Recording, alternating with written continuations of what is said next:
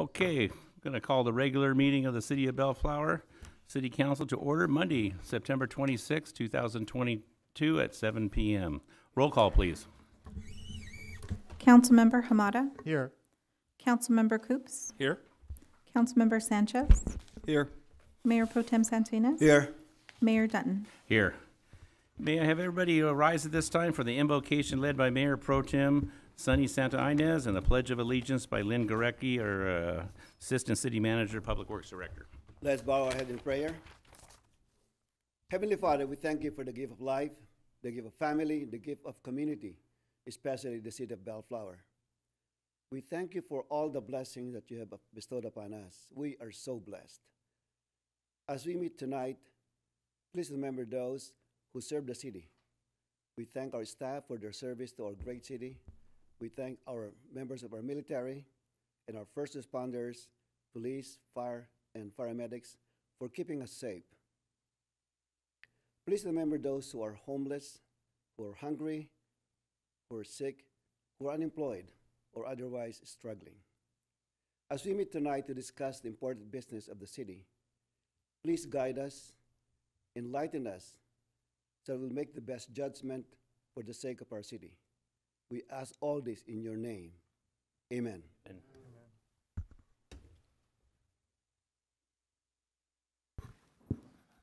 Place your right hand over your heart, address the flag, and repeat after me.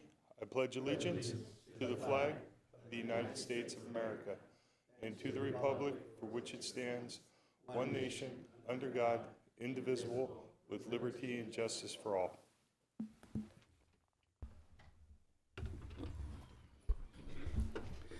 Okay, we'll move on into city council announcements. I'll start. The 2022 Bellflower State of the City presentation will be held next Thursday, October 6th at 11:30 a.m. at our very own main event center. The State of the City presentation provides an overview and update on city, city's recent accomplishments and future goals. I am excited to share that amazing process that we've had this past year and what is to come. For more information regarding the event, please call 562-804-1424, extension 2267. Mayor Pro Tem Sonny Santa Ines. Uh, thank you, Mayor. Good evening, everyone. The Bellflower Volunteer Center is now coordinating the holiday food and toy, toy drive for local families in need. For Thanksgiving, they are seeking canned goods and gift cards. For Christmas, they are seeking canned goods, gift cards, and gifts for children. Gifts can be dropped off at the Volunteer Center or purchased online using the Amazon wish list. Monetary donations are always welcome and appreciated during this time of the year. Donations are due by November 1st. For more information, please contact 562 804 1424 extension 2331 or email mnavarro at bellflower.org. That's all I have, Mr. Mayor. Thank you, Mayor Pro Tem Santa Ines. Councilmember Victor Sanchez. Thank you, Mr. Mayor. Uh, good evening, Bellflower. The Bellflower Chamber of Commerce will be hosting its monthly morning mingle tomorrow, Tuesday, September 27th, from 9 a.m. to 10 a.m. The Chamber is also hosting its Trick or Treat on the Boulevard event Friday, October 28th, from 4 p.m. to 7 p.m. in the Town Center Plaza. For more information, please contact the Bellflower Chamber of Commerce at 562 867 1744. Thank you, Mr. Mayor. Thank you, Councilman Sanchez. C- Councilmember Dan Koops. Thank you, Mr. Mayor. Are you a Bellflower business owner or operator who has something special to celebrate? Have you received an award preparing for a special event or recently remodeled? If so, share your news with the city's Economic Development Department by emailing economic underscore DEV at bellflower.org. In addition to being featured in the e-citizen, the Economic Development Department will begin a small business spotlight every month. Business owners will receive a one minute feature video to appear on cable channel 36, the city website, and social media. To apply for the spe- Spotlight Special, please call 562 804 1424, extension 2249. Thank you, Mr. Mayor. Thank you. Councilmember Koops. Councilmember Raymond Hamada. Yes, thank you, Mr. Mayor. Let's see, um, oh, oh, at these, you know, Southeast Los Angeles County Workforce Development Board is, is providing up to five hundred hours of work experience or vocational training, resume assistance, cover letter assistance, and financial support for tools, transportation, etc. To be eligible, see, applicants must be 14, uh, that's hopefully correct, they can start them young, uh, to 24 years old, and be able to work in Cerritos and surrounding cities. To find out if you're eligible, please call 562 484 5027 or 562 484 5000. To learn more about their program, please visit their website at www www.selacowdb.com. All right. Okay. Thank you, Mr. Mayor. Thank you.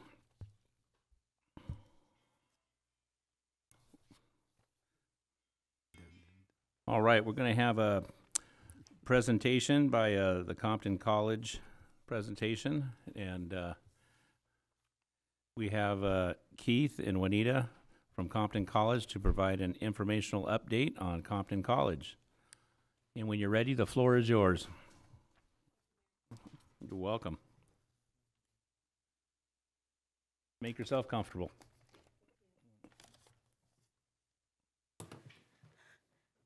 Okay, um, thank you, um, and good evening, uh, Mayor, Mayor Pro Tem, council members, staff, and residents of Bellflower.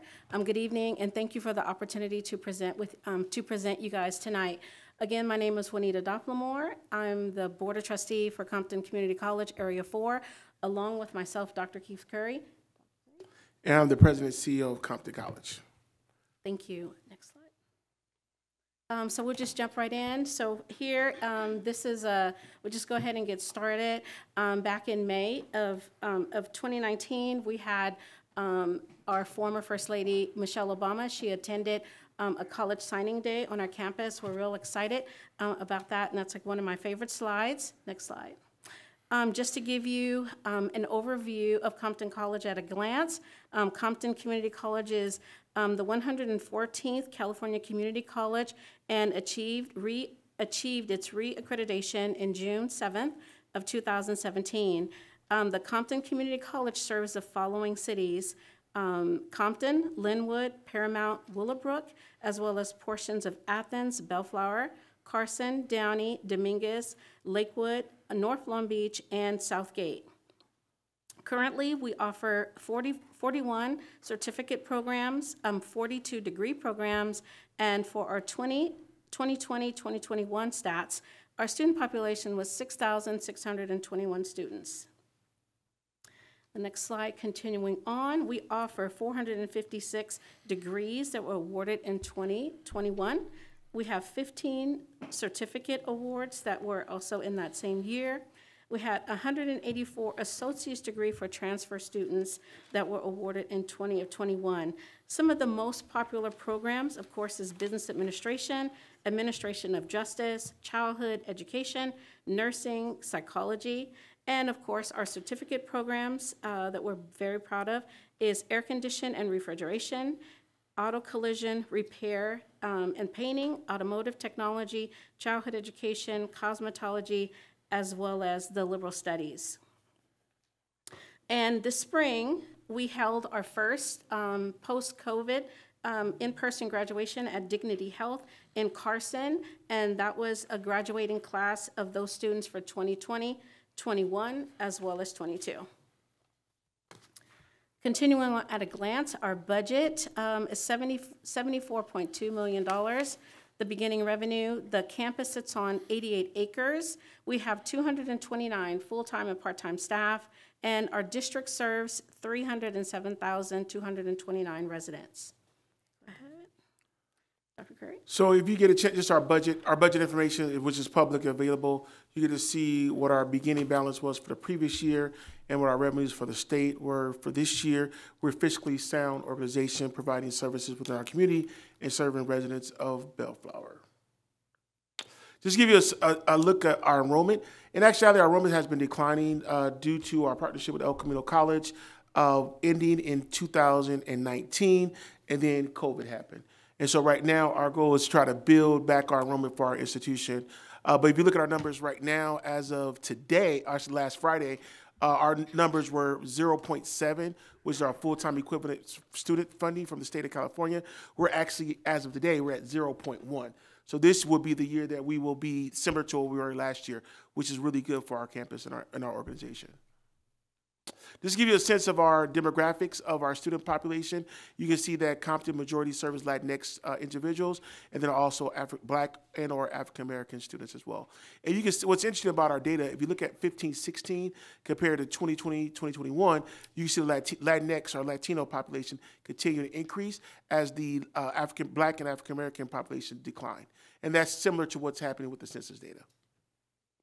Just give you a sense of some of our construction, we've been doing a lot of work. We just opened uh, in the fall of 2020. In the fall of 2021, we opened a $21.1 million state-of-the-art instructional building. We're in construction right now on a $25.2 million student services building. I actually had the opportunity to walk that building today. We're scheduled to uh, be completed this fall with the opening of January 1 of 2023, but it will be done this fall semester. We also have another instructional building, number two, which is a $25.6 million project, which will be done in the winter of 2023. And then we have future projects. We have a $45.6 million physical, physical education complex that also includes a um, swimming pool on our campus as well. Uh, so we're really excited about this project. It's at, right now it's currently at the Division of State Architects uh, for approval as relates to the architecture for the project. Our goal is to begin construction sometime this year. And then we have another $13.4 million uh, visual and performing arts complex, which was currently in design, and this will be open for our students and also our community. So we're really excited about the construction projects. And the last piece of construction projects, we received $80 million from the state for a new student housing facility for 250 beds. We'll be the first community college in LA County that will have student housing. Okay, thank you, Dr. Curry.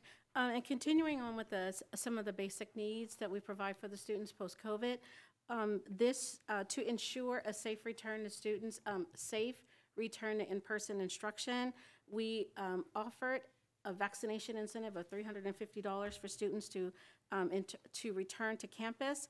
We also have um, our St. John's uh, Health Center, which is on campus, which provide vaccination and also mental and health and wellness for students upon their return.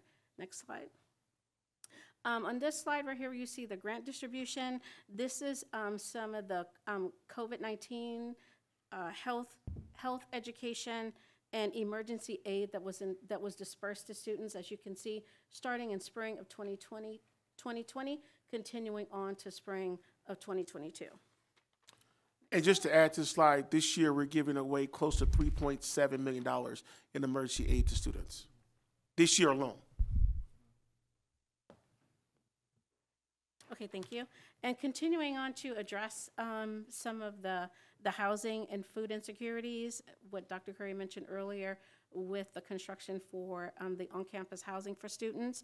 Um, How we are addressing the food insecurity for students is that we have what is called Every Table, which provides a meal for students. Each student on campus, they um, can, uh, they are eligible to receive up to one meal a day. Um, And for those students that are attending um, instruction online, they can also have a meal delivered to their home. We're also having uh, food delivery as well as partnering with the LA County Food Bank for food, dis- for food distributions as well as food pantries. Next slide, okay. Um, steps to enrollment, we have, uh, currently we have virtual and in-person enrollment that is taking place this fall. And the steps to enrollment, if you scan the QR code, um, first is to, um, apply for admissions, which we encourage all of the students to do. Um, seek the financial aid and funding that's available for students. Students will also receive, um, an orientation. There's also an, an educational plan review with their counselors to ensure their success um, and make sure that they're on a path for success as they um, return to two years in person, and also if those students are looking to transfer. And of course, the last step would be to register for in classes, and that's something that we encourage all of the students to do and uh, take part in. On the next slide is our Oliver W. Connor Promise, California, Com- California College Promise Program. Um, but for us, it's by the name of Co- Oliver W. Connors. And Oliver W. Connors was um, an alumni, and the institution received um, um, a grant, or um, he left in his will um, to Compton College. So um, as, um, out of respect to him and his love for the college, we named our California College Promise program after him. And of course, that is for students that are graduating from our local high schools. They automatically get immediate enrollment into our two-year program. And there's um, just some of the, if you go to the next slide, Dr. Curry, um, some of the benefits to that. Um, the students, their enrollment fees, whether they are eligible for a Pell Grant or other aids. And this two-year program is eligible to students that participate and take up to 71 um, units with transferring. And then, of course, at that time, you can, the students can tap into some of the additional um, financial aid that's available um, to students through the state. Dr. Curry, would you like to add to anything on that? No. Okay, next slide is, um, of course, just continuing on with this, you can see the breakdown and the savings for students that enroll and participate in the College Promise Program versus this, the, uh, the semester um, fees for books, tuition, and just the, the true cost of attendance. And I believe that that funding that you see there, that is this, what the out-of-pocket cost for the 2616 that you see off to the right, that is the health and student um, government fees that the students would have to pay. Next slide, Dr. Curry. Okay, and last, before we can open it up to questions, is of course, again, um, our eight-week classes um, begin October 15th, so we are accepting enrollment, uh, whether uh, virtual or in person, for students. And that is all we have. Um, We can open up to any questions. What a good pr- presentation. Any questions? Do Juanita or Kevin? Yes, Mr. Mayor. Okay. Go right ahead. Thank you. Um, ca- Can you go back again uh, about the budget? Is it 43 million? Did I What did I say? remember think I correctly? said 42.3, I believe. from the I must have beginning? misspoke a little bit, I'm sorry. Yeah, it- it's I about think it 40 million, was, right? oh, no, that was the 74, but, So, Oh, so it's, 74, it's 74 74. million, which includes our unrestricted and our restricted dollars as well. And And- so, And the population is about 6,000 students right now? yes, and yes, correct. I'm just kind of extrapolating the numbers while you were talking. It's about $10,000, $11,000 per student, That we see is state funding. state funding. It's so our and we didn't get into this. is, it's a little bit a little bit complex, but I can do it in a quick second. So our funding from the state is protected due to COVID nineteen, but more so about our separation with El Camino College. So we're we have a funding floor. So basically, we're funded for a certain number of students, regardless of how many students we have on campus, and that goes through 2025, 2026, and that's some legislation that we worked on in 2017. So if you can run down for just, just in, in global terms, so we get funding for about $11,000 per student from the state. It's actually, when you look at the funding, it's about sixty-five hundred dollars per student. Per student. Per full-time equivalent student. The reason I'm bringing this up is because, you know, I'm not trying to compare this, but we're spending more money for prison compared to the students. I mean, it's just 6,000 versus, I think we're spending about $100,000 per, uh, per inmate. So this just disparity, it just kind of irritates me that we're not we're not investing in our kids enough to get them educated. That's, that's all my point. Um, and ca- can you, uh, Dr. Kerr, can you educate me here? When you said earlier that, or Ms. Dopplemore, about yes, sir. um, Compton College serving parts of Bellflower? Yes. Can you educate me on that? I mean, Um, okay, so I'm in, so I'm in North Long Beach. So, um, my particular area for Bellflower are the students that are, we, um, the residents consider, or they refer to them as Southern, right? So we're on the southern side. So Bellflower, that's on the, on the south side of the 91 freeway, right there between, um, North Long Beach, Lakewood, and Bellflower, right? So all Oh, of I those see, students. I see. So that pocket of students right there. And then there's also another section of students on the other side, on the northern side of, of the district of Bellflower that is served by um, Downey Unified School District. So Mm, you I have see. multiple school districts that you, um, um, for your residents, depending on what side of the, um, the city they're on. Is Because I think for the most part, uh, most of the residents of Bellflower are served by Cerritos College. For the Oh, I'm sorry. I was speaking of high school, No, but yes, college. also for my co- footprint, my footprint in North, in North, uh, in South Bellflower, I'm sorry. The footprint is for Compton Community College. Right, on the So south your side. Mm-hmm. city has two community college districts, just like the city of Long Beach. So my portion, of course, is Compton, and then the majority of Long Beach is served by Long Beach Unified School District. Ah, I So, see. so you have a benefit there. Right. So i- is the funding similar to, let's say, uh, the school district where you get by based on average daily, daily attendance? Is So, that how so it's, it's a more- little, we, we are funded on full-time equivalent students. So Okay. basically, the sh- short and sweet part of this is basically looking at students' enrollment. So a full-time equivalent student is more so uh, taking 12 units. So you might have multiple students who are taking three unit, one class. If you have multiple students taking three, one, three unit courses equals 12, that's one full-time equivalent student. And so for one full-time equivalent student, we get about $6,500 full-time equivalent student funding from the state of California. Oh, I see. And then you also mentioned about, and I just want to put a plug here. Uh, you mentioned about every table. Yes, We have every table in Bellflower. yes. It's on the northwest corner of Bellflower and Alondra. Bellflower and Alondra. S- So we're averaging about 420 meals per day, uh, and it also includes our employees. And we have we're funding this program for the next three years. Mm. A- And by the way, I'm very impressed with your program, especially nursing, because I have friends who went to your nursing school, and they were very well educated. So thank you so much. Yes, thank and, you. And and finally, can you explain to me um, the the College Promise program? Is it only for one year or for the whole It's, for two years? it's for two years up to 71 credit units, right? It's for two, it's a two-year program. That's for students who want to make sure they get up to 70 units, but it's a two-year program, uh, free free college. Uh, but you also understand when you talk about free college, we also want to look at the other uh, expenses that students have. Like we're paying for their tuition, but there's also other expenses, and that's why we, we do a lot of work in basic needs to make sure the students have that support regards to housing and food insecurity. So what are the expectations of the student to kind of maintain that on, let's say, on their second year? Do they have to maintain some kind of grade point average or? It's not based off a grade point average, but it's based off of the number of units they take and also fill out the application during their freshman, during their, prior to their freshman year or during their freshman year, Okay, or their first year, say it that way. wonderful. Okay, thank you so much. Mm, Thank you. Any other questions? Yes, Uh, Councilmember Hamada, go ahead. yes, Mr. Mayor, thank you. Yes, hello. Hi- Hi, Councilman. Juanita. Uh, again, we know each other, so, but also, again, Dr. Curry, well, uh, again, Thank you. welcome. Um, yeah, this, this question about, um, you know, service area has always intrigued me because Mhm. Bellflower, I, I believe, could be served by four, four college districts, actually, possibly the Compton on the, some of the west side and south, south side, uh, uh, Cerritos, of course. Mhm. Uh, I know a lot of kids that go to Long Beach City College. And then the kids in the north that go to Downey Unified Schools maybe go to Rio Hondo, Mhm. the possibilities. So, uh, uh, again, uh, you know, thank you for being here.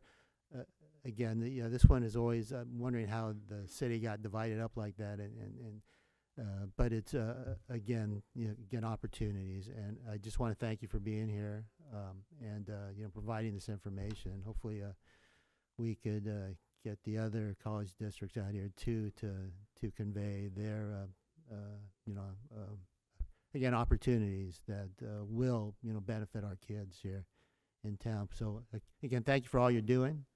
And, uh, uh, you know, best on, on those endeavors. And, uh, um, yeah, we'll, we'll, we'll take care of our kids. Yeah, I think there's a lot of us who are really stepping up to, uh, uh, you know, address the needs. Yes, well, thank you, Councilman. Again, thank you. Great. No further questions? Oh, Victor, go ahead. Mr. Mayor, sorry about that. Just a question came up. Um, well, first off, welcome. Uh, thank you for being here. Just a quick question regarding: um, Do you currently, does Compton Community College currently have a partnership with Bellflower Unified School District? No, we do not, but I think that's something we need to look into as we move forward, especially for the portion that we serve. Perfect. And maybe Mr. Hamada can can connect that, connect those dots. We're trying. Again, yeah, it's, Yeah. uh, again, uh, uh, I, I- I think I was the one that encouraged this start. And again, I, uh, uh, again, after meeting Juanita and, and, uh, you know, talking about it more and just seeing the opportunities, I- I, I think, uh, again, uh, this, this, this community needs, needs to have at least that on the table, at least as an option. So, and, and again, because we get uh, carved up here. Uh, you Yeah. know, some of the students can't make it. To, you know, between the again other districts, but uh, again, there's an opportunity at at Compton College, and we definitely want the kids to take advantage of it. And we will follow back up regards to the Bellflower Unified School District. But I, one thing I throw out there as, as a recommendation, if you're interested in coming to the campus, the campus is beautiful. Uh, if you're interested in coming to the campus, go on a tour. I include, inclu- including our packet is, is our, my business card. So we set you up with a campus tour and you try to every table at Compton College as well on your campus tour. But it's a beautiful campus and the construction, uh, you don't see too many community colleges having this much construction that's basically funded by the state of California. And so the state of California has invested a lot of money into Compton College and Compton Community College District because of the good work that we have been doing over the last couple of years. And so without Trustee Dopplemore, I don't think we'd be where we're at now. And bridging this connection today with Bell, with the city of Bellflower is, is helpful. If you have any other suggestions of how we can increase enrollment or any other ideas, suggestions about programs, please let us know. We're always open to new ideas. Well, thank you. Yes, thank you, I got a Mayor. question. Thank you. Uh, Yes. yes. Currently, how many Bellflower students do you have enrolled in your college? You know, I don't know that answer to that question, and I'm going to have to. I was thinking about that on the way here today because our a- data for our trustee area number four is just aggr- disaggregated by the whole area, but not by the zip code. So what I would be able to get back to you tomorrow is by your zip codes, how many students are enrolled at the Compton I'd be interested to know. for the last five years. So we have a baseline as we work forward. Yeah. So I will send you a copy of the, our report card that we have for trustee area four, but also we're gonna break down the data for Bell, the city of Bellflower for the last five years. No, I was especially interested in the courses you offer, hands-on training, air conditioning, auto body, fender, plumbing, electrical. All that things are sometimes put aside, but it looks like you've provided a place for them, and it's very important. Thank you. Now, it, it used to be, and I assume it's the same deal now. Even though you live in Bellflower, you can elect to go to any junior college in the area. Isn't that true? Correct. All right. so- They, students have, they have open access, community college, or open access institution. But no, no other community college is offering what we're offering. When you talk about free Wi-Fi, laptops, Wi-Fi hotspots, food every single day, they're not offering the amount of emergency aid that we're providing to our students. Compton College is at the forefront as relates to providing support for our students, and those resources have been allocated for that. And so our, our goal is to, for you to help us regards to encouraging, telling students more about Compton College, but also about the resources. But we will provide that data as well by tomorrow. And it appears, or it sounds as though you even provide a food service for the employees, staff. Correct. All the employees and students are able to eat every single day, uh, Monday through Thursday. Uh, it's one of our, our signature programs because we have been able to find the niche. When I mean niche is, and most colleges not been able to do that, of how you can be able to provide food every day. But it's our partnership with Every Table where we're able, we have a sweet spot regards to the amount it costs per meal, and, and employees and students have options. And every day, students are in there picking up their meal uh, their free meal each day. But it's, that's how you address housing food insecurity, is by really attacking the problem and make sure that's available to our students. You mentioned a couple of times a relationship with El Camino College that had changed. Can you explain to me what changed? So just for, for history and, and for some history buffs that are, that are in the room, is that Compton College was the first community college, uh, Compton Community College was the first community college in the history of California, community colleges, who accreditation was revoked in 2005. Uh, and so from that revoke, we got into a partnership in 2006 with El Camino College to provide uh, educational services at our campus. Uh, we became accredited again in 2017, and we separated from El Camino College in 2019. The reason why that's significant is that we anticipated that we're going to have a decline in enrollment due to the transition from El Camino College in 2019. However, we did not predict the COVID 19 pandemic. So we had a double whammy, as they would say, regards to our decline in enrollment, because we already knew we were going to have decline enrollment because of partnership, and then we had decline in enrollment due to COVID 19. So did the diplomas read El Camino College, or Yeah. did they read uh, Compton College? At, at that time, it read El Camino College, and now they read Compton College. And all the courses you take, uh, if I take a course at- your institution, that will put me in the right place so that I can go on to a four-year college. Yep, we're accredited college, and the courses and units that students complete are able to be on their transcript and are transferable to four-year colleges and university. Do you give letter grades or pass-fail?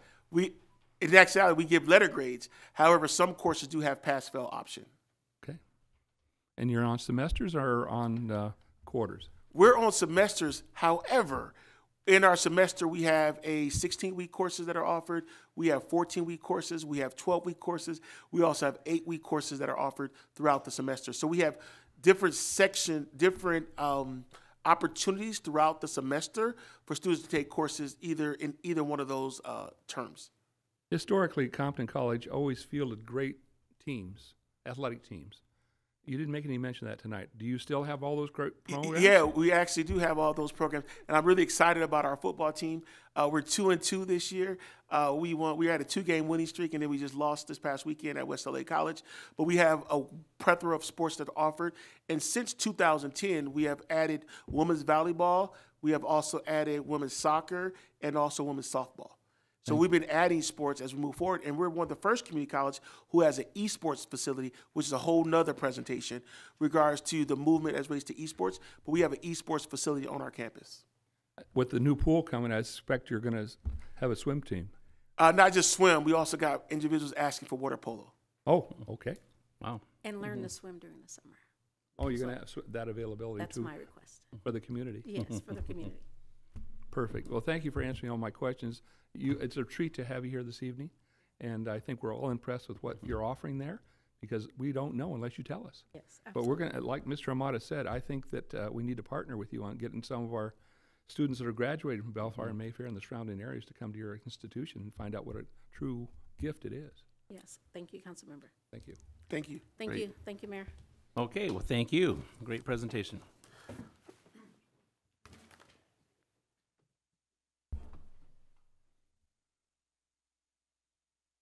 Okay, public comments, Mr. Stewart. Yeah, this is the time set aside for the public to address the city council on matters not listed on the agenda. Anyone wishing to address the city council should come to the podium, state your, be recognized by the mayor and state your name for the record. If you wish to address the city council on an agenda item, you may do so by approaching the podium as we review that particular item. You'll be given three minutes to address the city council. Good evening, everybody. I'm Larry Wehage. I will not need three minutes.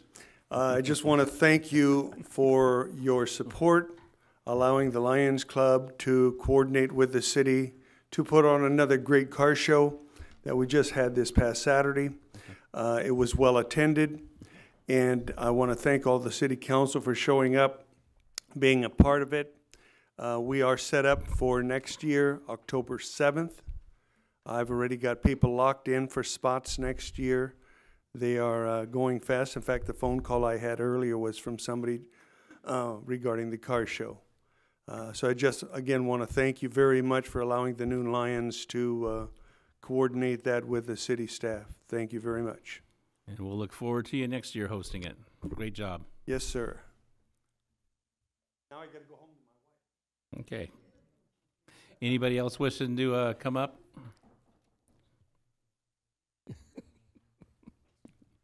Mayor, council members, ladies and gentlemen, my name is John Butts, uh, a local person here in, in town. I have a couple items. I still see you got your three-minute nonsense there, which is a slap in the face. But I've got a couple things here, and I would like an- to know on the city substation, along with the employees, what purpose does it serve? At a cost of over a million dollars a year. And when I had to go over there a couple weeks ago to report uh, some vandalism, they tell me, here's a phone number, call the Lakewood Sheriff's Department. So what, what, where's, what, why are we throwing over a million dollars a year away on a stupid place like that and been doing it for God knows how long now? It's time to get rid of it. Now, here's the other question. Street sweeper, I brought it up before. Why do we pay somebody to follow the street sweeper when you can deal with the street sweeper company and have the camera installed on the vehicle that takes the picture of the thing and sends you, or whoever, the deal to pay, pay the fine instead of paying another idiot that we have to hire, which is a waste of money. Now, here's another item, and it has to do with code enforcement. I was told they work on the weekends sometimes, but I haven't seen it. Uh, there's so many permits and business licenses never taken out, cause everything done on the, on the weekend. I brought this up several times before, and I even have a picture this time of a very prominent person here, uh, in back of, in back of his building, while they're putting a brand-new roof on it, Mr. Koops, Huh? on Saturday and Sunday of the seventeenth. So they're on Harvard No Street. permit, no license, no nothing. Harvard Street? Now, our, our grand old code enforcement people, they work so hard. It's time to get rid of them and outsource that too. So much money is being wasted and nothing being done by the laziness of a lot of employees that aren't needed. It's time to outsource. I, I turned this in over, today I stopped down here. But this is right in back of your place, Dan. I, what, on, I'm uh, sitting there on a Saturday and Sunday watching them do it. Real slap in the face. But uh, it's not your fault. well, thank you It's for the not paying me. I didn't put the It's not your roof on. fault at all. It's, it's the employees that we have here that don't do nothing. So thank you for your time and. uh, Oh, you made it. I'll, gi- I'll give you my eleven seconds. All right. Thank you, John. Anybody else wishing to, uh, speak on anything?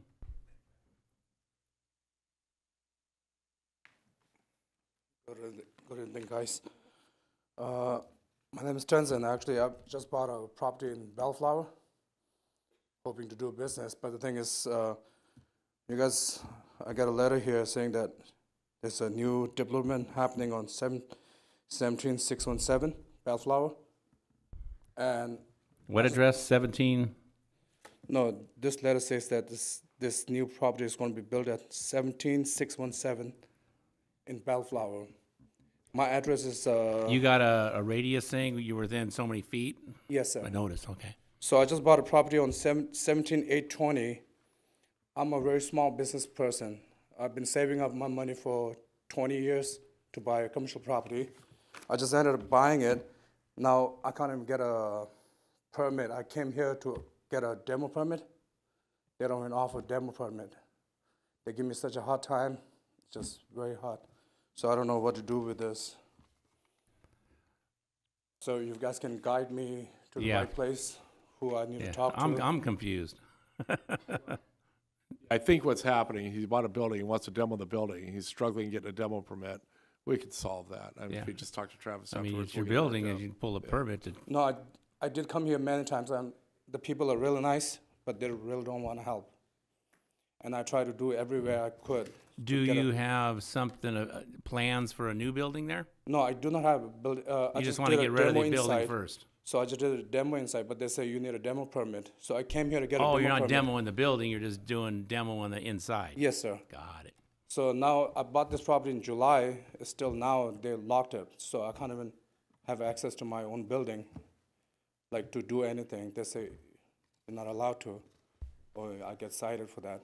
Yeah, I think there's other things involved, like asbestos and stuff like Yeah, that. But you, you need to have a plan, though. Yeah, we can what unwrap Yeah, I did have a plan. but- I had an engineer come Okay. here too, this- so they Okay. defined them too. So do I So need to get talk with you? uh, Travis here, Okay. and he'll uh, have a little sidebar with you, and we'll see what we can do. Anybody else wishing talk about anything? Okay, let's move on. Item seven A, Mr. Stewart. Yeah, this is the first public hearing tonight. It's consideration of possible action to conduct a public hearing to receive comments on the fiscal 2021, 2022 Consolidated Annual Performance Evaluation Report, or CAPER, and adopt resolution number 20 22 57, a resolution authorizing city manager to submit the fiscal year 2021 2022 Consolidated Annual Performance and Evaluation Report, or CAPER, to the U.S. Department of Housing and Urban Development.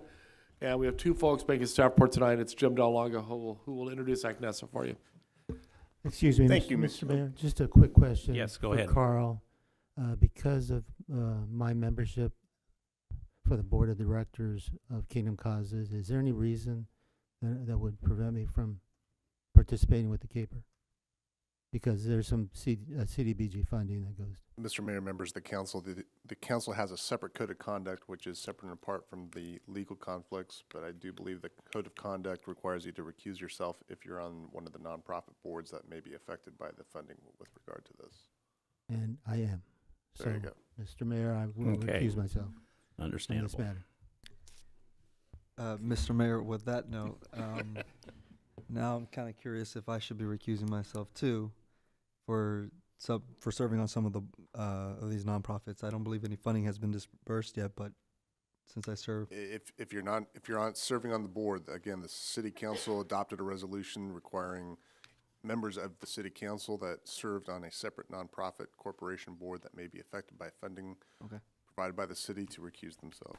so I'll do the Or, same, or employed? or employed. Gotcha, okay. All right, let the record reflect that Councilmember Sanchez and Councilmember Hamada are conflicted out of item seven A. Thank you, Mr. Stewart. Mr. DeLongo, go ahead. Or Thank you, Mr. Miss- Stewart, which one? Forgot where I was. Thank you, Ms. Good evening, uh, Honorable Mayor and members of the remaining City Council. Um, Aknessa Ananekian is going to present this. Uh, The staff, she, Carla, and finance staff have been working on this for a few months now and getting this all set for you, so I'm going to turn it over to her. Thank you. Um, good evening, Honorable Mayor and members of the City Council. Um, the city is conducting a public hearing to review and receive public comment on the fiscal year 2021-2022 Consolidated Annual Performance Evaluation Report, also known as the CAPER. Um, the U.S. Department of Housing and Urban Development requires that the city annually submit a CAPER, which summarizes the activities and expenditures through, um, supported through the use of Community Development Block Grant and Home Investment Partnership Funds. Um, CDBG funds, in particular, are meant to improve living environments and promote economic development through job creation and services. The funds must assist low-income persons, particularly in blighted areas. Last year, HUD allocated approximately $938,000 in CDBG funds towards such activities. The activities included the Fair Housing Foundation, which provided their services to 100 to 207 Bellflower residents. Uh, Kingdom Causes Bellflower Good Soils Program, which employed 30 residents. The Volunteer Center, which added a total of 15 new adult and student volunteers that served and benefited over 1,400 persons. CDBG also partially funds the city's code enforcement activities, specifically in CDBG eligible tracts. Last year, there were 439 code enforcement cases in these tracts. Also, a majority of CDBG funds are used to, for Section 108 loan repayment. Um, this was a loan, a 20-year loan, a 20-year, $7 million loan, excuse me, taken out in 2004 to rebuild blighted areas and promote economic development in the downtown area. The city is obligated to make annual payments using CDBG funds through the year 2024. The city also uses CDBG funds to pay for program administration and planning costs to ensure HUD regulations are met. And lastly, the city also allocated CDBG funds for a small business assistance program, which was carried over into this current fiscal year. In all, approximately $898,856 of CDBG funds were expended last fiscal year. In addition to regular CDBG funds, the city also received supplemental CDBG CV coronavirus funds to prepare, prevent, and respond to the COVID 19 pandemic. Bellflower received two rounds of CV funding totaling $1.188 million. The city funded an emergency rental relief program which assisted 64 Bellflower residents. In addition, CV funds were also allocated to food insecurity programs, including a homeless shelter meal program, which was able to assist over 100 persons with food, as well as a food insecurity program, which assisted 15 families with bi-weekly grocery pickup. The city has also allocated CV funds to a youth family senior services program and a business grant program. These additional programs are currently in process of starting up. CV funds are expected to be fully exhausted by year 2023. The city is also using CDBG CV funds to pay for, to pay for program administration. The city, um, excuse me, on a different note, The city also receives home funds from HUD. Home is meant to retain and increase affordable housing stock for renters and owners in the city of Bellflower. Last fiscal year, the city received approximately 359,000 in home funds. The home funds are allocated towards certain housing programs throughout the city. The first being the Housing Rehabilitation Program. A total of five rehabilitation projects were completed last fiscal year. Home funds are also used for program planning and administrative costs.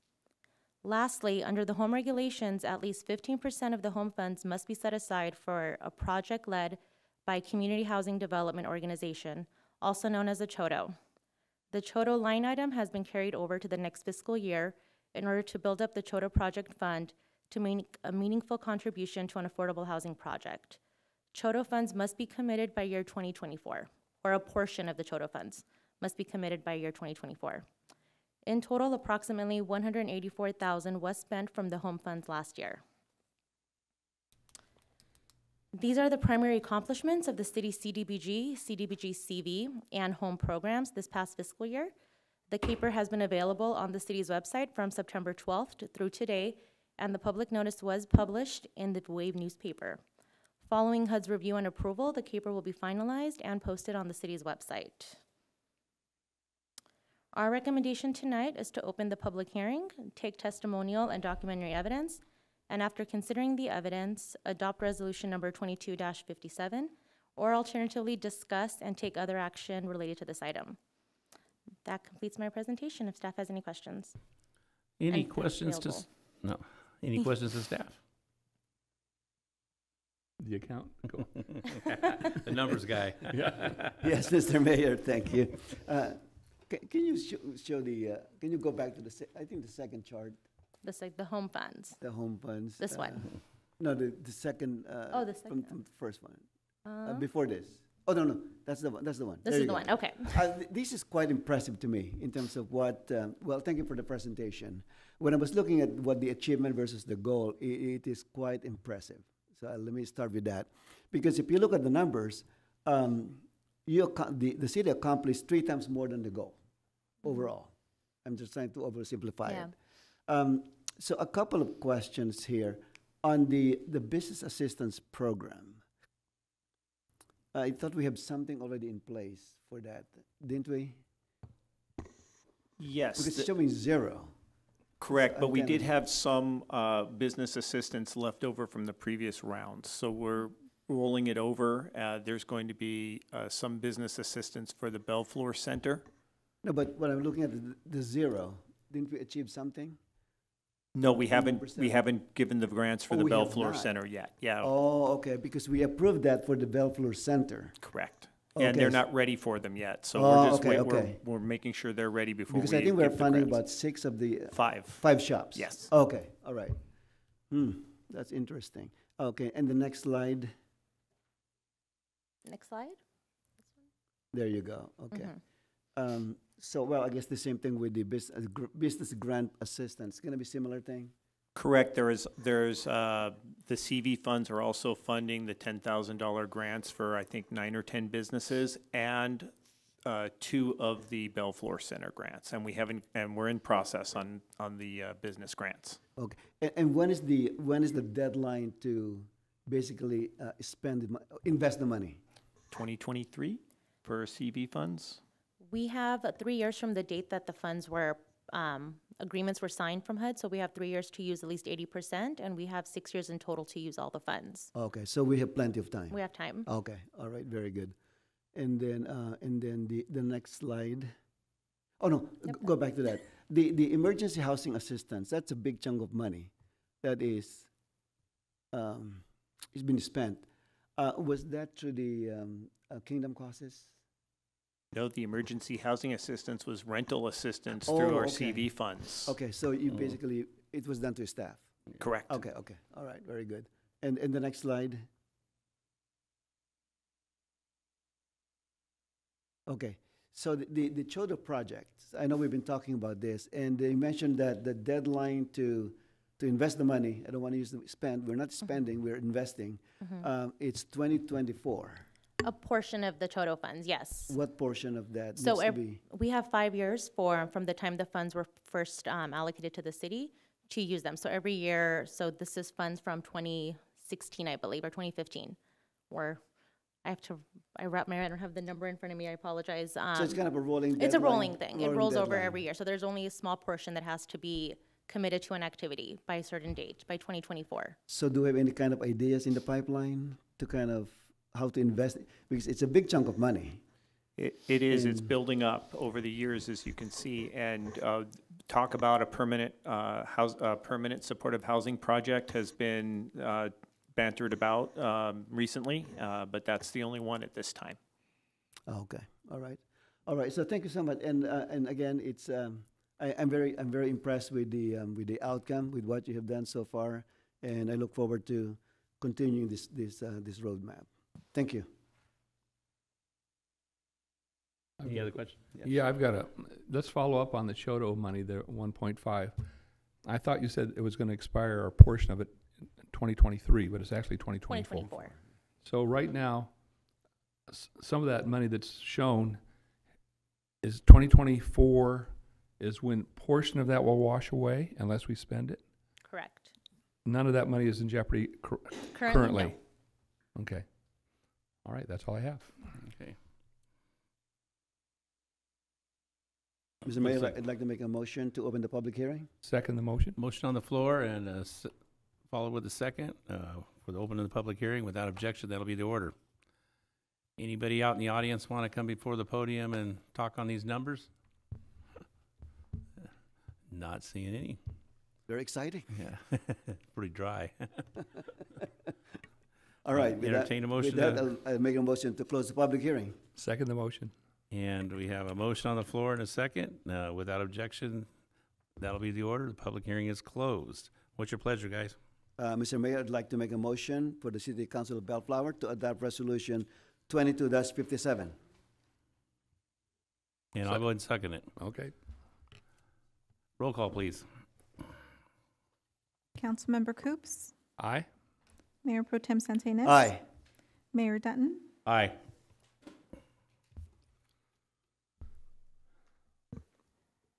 Thank you. Someone can call in our colleagues?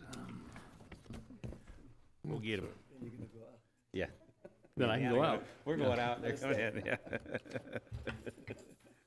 That's true, isn't it? Yeah. I didn't I didn't think about that, yeah. Sonny again. Well, either buy property or serve on a nonprofit and you'll be out of here.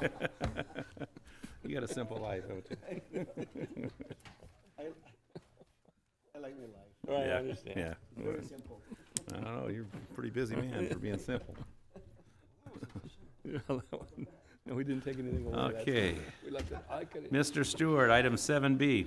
This is a long one, so bear with me. Consider as possible action to conduct a public hearing to consider an application from Greg James of McKinley Malek Architects uh, for a conditional use permit and development review and to adopt resolution number twenty 60 a resolution approving conditional use permit case number CU twenty-one 3 for three restaurants with drive-through components, a fuel station with accessory off-site alcohol sales for development on lots that will measure less than one point five acres, and development review case number DR six 21 one two zero one eight to allow for the construction of five commercial buildings on the properties located at one seven six one seven through one seven six three nine Bellflower Boulevard.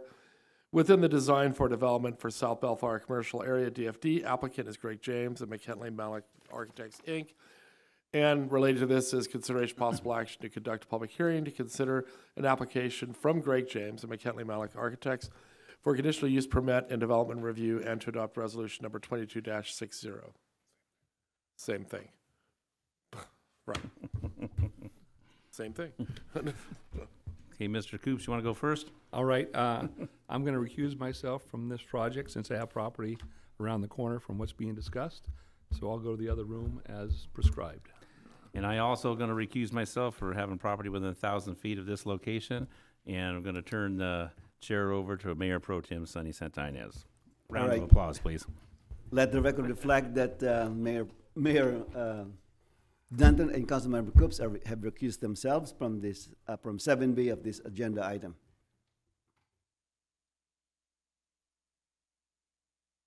All right, Mr. Stewart. Ms. Corpus will lead it off. Oh, I'm sorry, Rowena. She is, we have a guest appearance tonight. We'll lead it off, so. That's okay. All Good right, evening. Miss, uh, Mrs. Concepcion.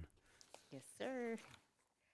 Okay, um, shown above is the aerial photo of the project site, which is uh, currently comprised of eight lots um, with a total area of about four acres. The project site is located along Bellflower Boulevard that stretches from Ramona Street to Cedar Street. Um, the property is uh, zoned design for development for South Bellflower Commercial Area, which is also referenced as DFD, with a general plan land use designation of C, which is commercial. The request before you for the CP or the conditional use permit as for a, uh, three drive-through facilities, a development or the developments on parcels of less than 1.5 acres, and a fuel station via director's determination with accessory off-site alcohol sales. Also, um, before is the development review for the construction of five commercial buildings. Typically, development review is um, done administratively. However, because we have land use entitlements involved with this project, it needs to be heard concurrently. A um, lot configuration is being proposed, which would then create five lots, or rather reconfigure the existing lots into five uh, lots. Um, we have lot one off of Cedar Street, lot two, lot three, lot four, and five would be off of Ramona Street.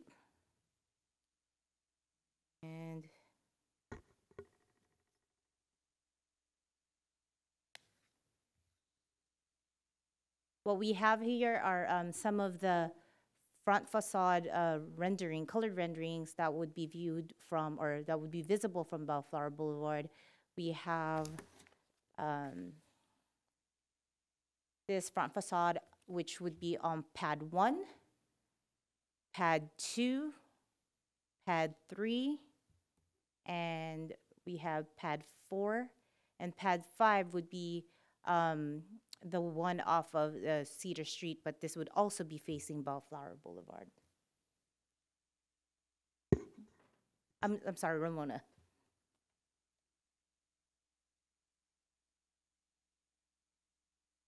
We do have a fly-through of the project.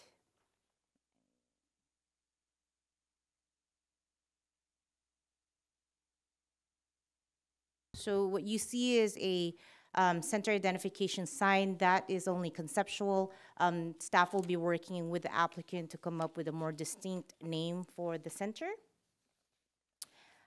This is off of Ramona Street, then off to pad number four, which would be occupied by 7-Eleven, which would be a fuel station with a convenience store.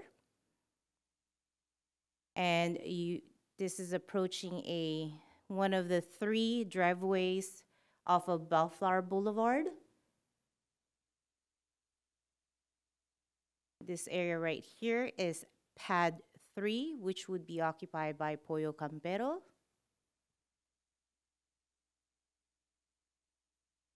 This would be second driveway off of Bellflower Boulevard. Um, there will actually be, as part of the city improvements, a median um, that would be installed along Bellflower Boulevard, and there would be a left turn pocket that would enter into um, this driveway. You can also see that there are some trellises that are being proposed, as well as some landscaping, um, uniform landscaping throughout the shopping center or the center. And this would be pad two, which would be then occupied by Sonic. It is a drive-in and a drive-through type of uh, facility. Um, both uh, pad one approaching would be on uh, Cedar Street. This is a multi-tenant building, also with a drive-through component. Both pads one and two will have a queuing capacity of 11 vehicles, and pad three, which is the Pollo Campero, would have a queuing capacity of uh, six vehicles.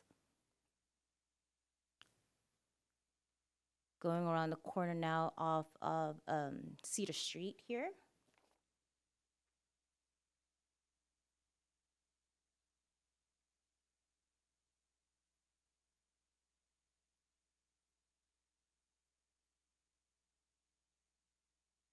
Up. Again, another um, center identification sign for the cent, uh, for the project site. And this is the drive-through lane. Um, again, this is a multi-tenant building. Um, as proposed, there would be two tenants. It also incorporates um, outdoor dining area. It's actually pads one, two, and three incorporate um, outdoor dining areas. And we are now approaching a, the driveway off of Cedar Street.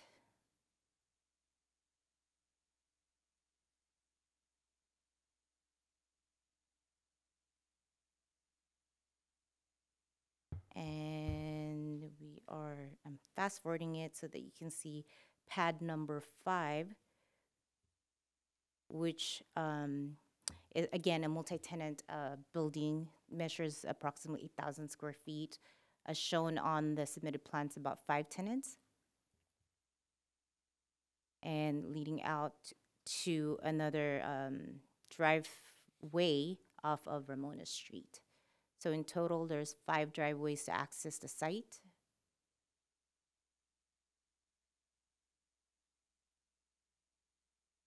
And as you can see, there are uniform landscaping designs on the property, as well as um, trellises throughout, trash enclosures, decorative paving um, are also some of the improvements that's on the property.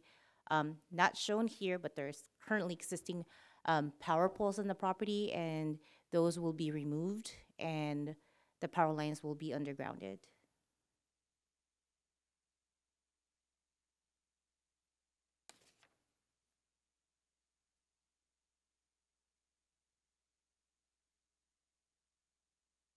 And this is now the view from Ramona Street, which is the northern boundary of the project site.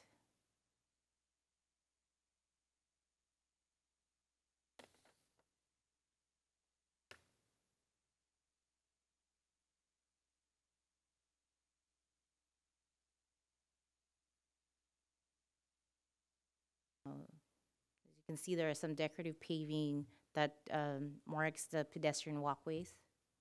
And this is the canopy um, that covers eight pump, fuel pump station, or fuel pumps for the 7-Eleven um, operation.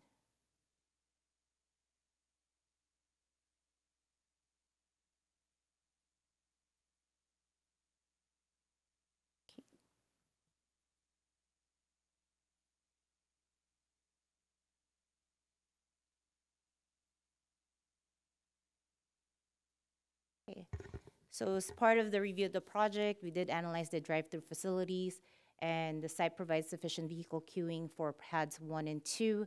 Um, for pad number three, it does have six uh, queuing capacity, and the traffic study concludes that the design of the drive aisle accommodates the number of uh, vehicles for that um, operation. Um, as far as the developments on parcels of less than 1.5 acres, the municipal code requires a conditional use permit for this, um, and the reasoning is the idea to um, have developments that are larger. And although the property or the sub project site is being reconfigured to create five lots that are less than 1.5 acres, um, the project site is still being developed cohesively, and the use of the common area between each lot provides the appearance that the project functions as one large commercial and retail development, which then meets the intent of that requirement 1.5. Um, as far as the fuel station, um, again, a director's determination was um, made. Uh, this use that the use is compatible with the general plan land use designation of C, which is commercial, and also um, the operation includes a off-site, an accessory off-site alcohol sales. And I want to go into that. Um, before you are the census tract information or the census tract map that shows where the subject property is, which is right here. Um, it is located within 5544.04 um, census tract. Um, there are currently three off-site alcohol licenses issued and active on that, on that, within that census tract. Um, and the, upon approval of the project, this would, uh, would be the fourth site within that census tract. Adjacent to that is census tract number 5544.05. There are currently two active licenses within that census tract, one of which is actually being proposed to be transferred over to the project site. So although there's an increase of um, license on five, in 5544.04, um, the overall citywide, there isn't one because it's just being transferred from one census tract to another. Um, the location is within a high crime area, um, and the ABC or Alcoholic Beverage Control State Department would require a, uh public convenience or necessity determination from City Council.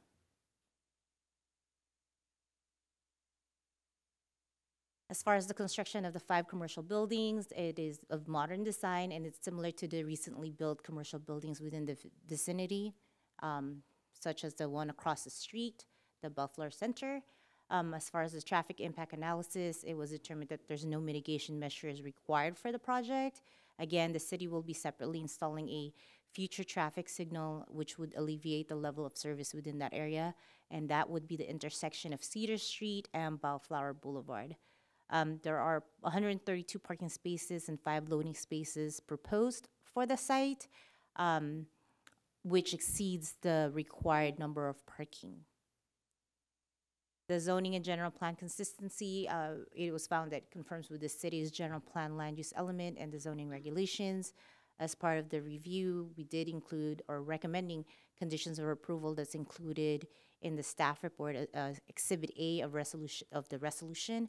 Um, this would ensure that the project, as conditioned, would, um, comply, or rather required to comply with local, federal, and state requirements, which includes without limitations, water quality, stormwater requirements, and also providing electrical or electric vehicle um, spaces in the future. So, and this concludes staff's presentations, unless there are any questions.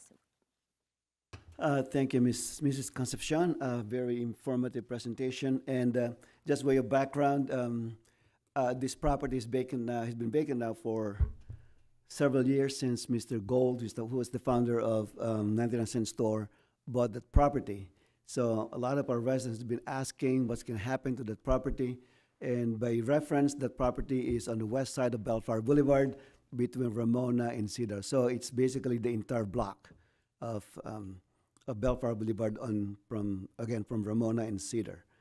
Um, just for clarification, can, can you go back to the first, um, first slide, Rowena? Oh, no, there you go, the, um, the plot plan, there you go. Um, in, in the, uh, in the video, I noticed that there were, there were trees along this side, but there are no trees here. Correct. Um, So, which one is more accurate? Am I nitpicking here? Um, we did n- include a condition of approval that the landscaping plans also reflect those, uh, mature, uh, the mature trees that's shown Okay. in the rendering. Yeah, because on the, there, there's no, there's no tree here. But on, again, on the video, this is lined up with trees Correct. all along. Okay. So there'll be more trees in the back. Because I think there's, there's a, uh, uh, this is a commercial property right now, so I want to make sure that there's some kind of privacy here. Because if you recall, um, one of the issues when we built the dog park, where the residents were complaining about the potential noise, but, uh, so again, um, potentially this could be more noise being a commercial property here on downtown. We did include, um, the condition for that, uh, which would be condition number twenty-two on page twenty-one of the staff report. Okay. That essentially requires the applicant to revise the landscaping to incorporate additional landscaping in that area. Okay, specifically trees. We will make sure that there are trees. I want to make sure of that because uh, uh, I, I was very impressed with the video. And then suddenly I saw this. All right, very good. Um, the the um, the alcohol license that you mentioned, the again, this is for 7-Eleven, right? That is correct. So they're gonna transfer from the east side of Bellflower to the west side. That is correct. All right, and then um,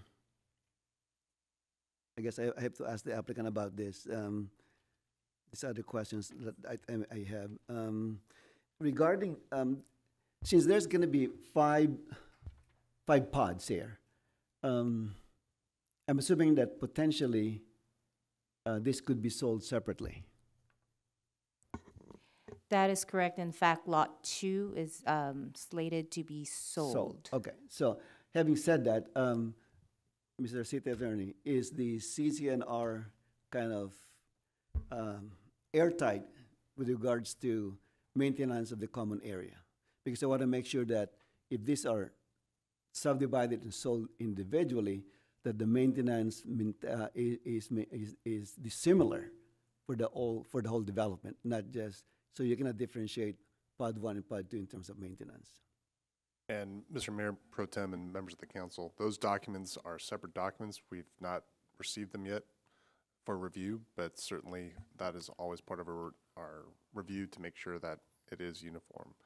We've made it very clear to the developer that we expect that sort of condition in the final approved documents that will require the maintenance of the property and money set aside for the maintenance in case we have to come in and do it. The conditions of approval bo- require both the CCNRs and a separate maintenance agreement, which will be reviewed by my office. Do we know if they're setting up like a uh, kind of a homeowners association, so to speak? That also is, is, I believe the Commercial, Commercial Owners Association is part of the conditions of approval.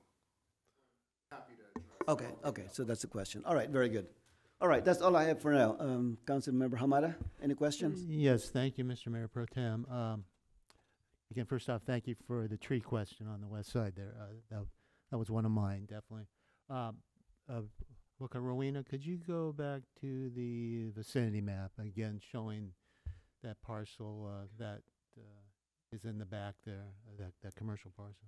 I think it was that one. And maybe just, uh, I think it's one more.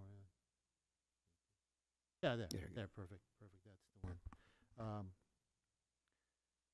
So again, uh, just maybe uh, for the benefit of everybody, the, uh, the history uh, of the site and, and the reason why that could not have been uh, part of it. Not to put you on the spot, but it basically, it's just like, uh, yes, it, it, it is a separate site, of course, we know that, and, and yeah, it would have been acquired, and, and maybe I'm, again, answering it myself, but, uh, uh, again, it, it would have been a great opportunity, of course, and, and maybe, uh, maybe, maybe it's just the, uh, maybe a comment that at least we tried. I think maybe there was some effort to maybe get it, but, and maybe get it into the project, but hey, it, it's, it's, it's, it's a private parcel. It was very likely expensive and, um, be it the city or the, or the applicant cho- chose not to, uh, pursue it and, and that's it, and this is what we have. Yeah, okay, thank you. I, that- I just, uh, uh, but, um, and again, um, yeah, the question of the landscaping, definitely want to soften this, uh, boundary line there. Um, let's, uh, let's, you can go back to the, uh, uh, site plan, things like that. Or no, uh, well, uh, yeah. Um, and again, thank you for bringing up, the water quality issues and, and also some of the other environmental, requirements and, um, you know, within the conditions, there's some, you know, specific language that, that, you know, again, outlines, uh, certain requirements and, and of course, that's gonna come down the road when it's, you know, plan checked and, you know, there'll be, uh, maybe some, um, you know, again, water collection facilities, uh, you know, some of the other things that, that hopefully will be incorporated and, and, uh, uh, more than just trying to get the, uh, the landscape planners to, you know, retain the water. There might, again, uh, and also, uh, you know, not, uh, not to, uh, you know, contaminate the, the, the sewer system, those be separate and so on. So, um, again, that's all part of the plan check process. Correct. As part of the project, also the um, applicant did submit their um, low-impact development, which is a water quality document also, which was uh, reviewed by our stormwater consultant. So it, it will be more refined when we go through the plan, uh, plan check process, but they did go through that process already. Yes, all right, good. Um, Art, um, I know there'll be a fee, but up front, do you know of any art that's gonna be incorporated, uh, for this project? Um, the applicant was informed of that requirement. Um, however, we have not received any information whether they, ch- they're choosing to install one on the property or to just pay the in lieu fee. Okay, so, uh, again, something to be worked on, worked on, all right. Um, it- Oh, last one, the wall, uh, uh, the wall requirements. Again, uh, the condition says no less than six, no more than eight. So will it be all eight, say in the back there? Or it will be some six? Because this is residential here, Mhm. and, and maybe the eight will be here along uh, the commercial? Um, we did require for them to install, uh, block walls, because they are, they are proposing to maintain portions of it. Oh, Um, we did require that the block walls match, so, all right, um, we yeah. did address it as to the specific height, um, I believe it's just called out to be six feet. Six next to the commercial The residential and the commercial. And the commercial? All right, not eight? All right, all right. Maybe something to discuss. All right. Um, I think I'll leave it at that. I, I think uh, I'll have some questions for the architect and, and uh, when it comes to uh, uh, the public hearing. All right, okay, thank you, Mr. Mayor. All right, thank you, Councilmember Hamada. Ju- just additional information that, um, uh, Councilmember Hamada and I serve as Oh. the, in the subcommittee. So I want to thank Mr. Hamada for that service. Uh, it was a pleasure working with the architect on this project. Uh, Councilmember Sanchez, even very quiet. Thank you, Mayor Pro Tem. a lot to, a lot to take in. Um, first off, just uh, want to thank staff and, and uh, the applicant for bringing this forward. And I know you guys have all been working uh, countless hours to get this to us. Um, first off, for staff, a couple questions.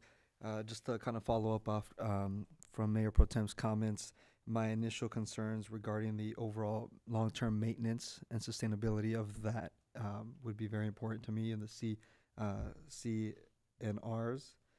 I always want to say CR and R, but you know, CCNR. CCNRs. Um, that would be very important to me to ensure that we don't ever run into another issue like we have on, you know, Downey and Artesia.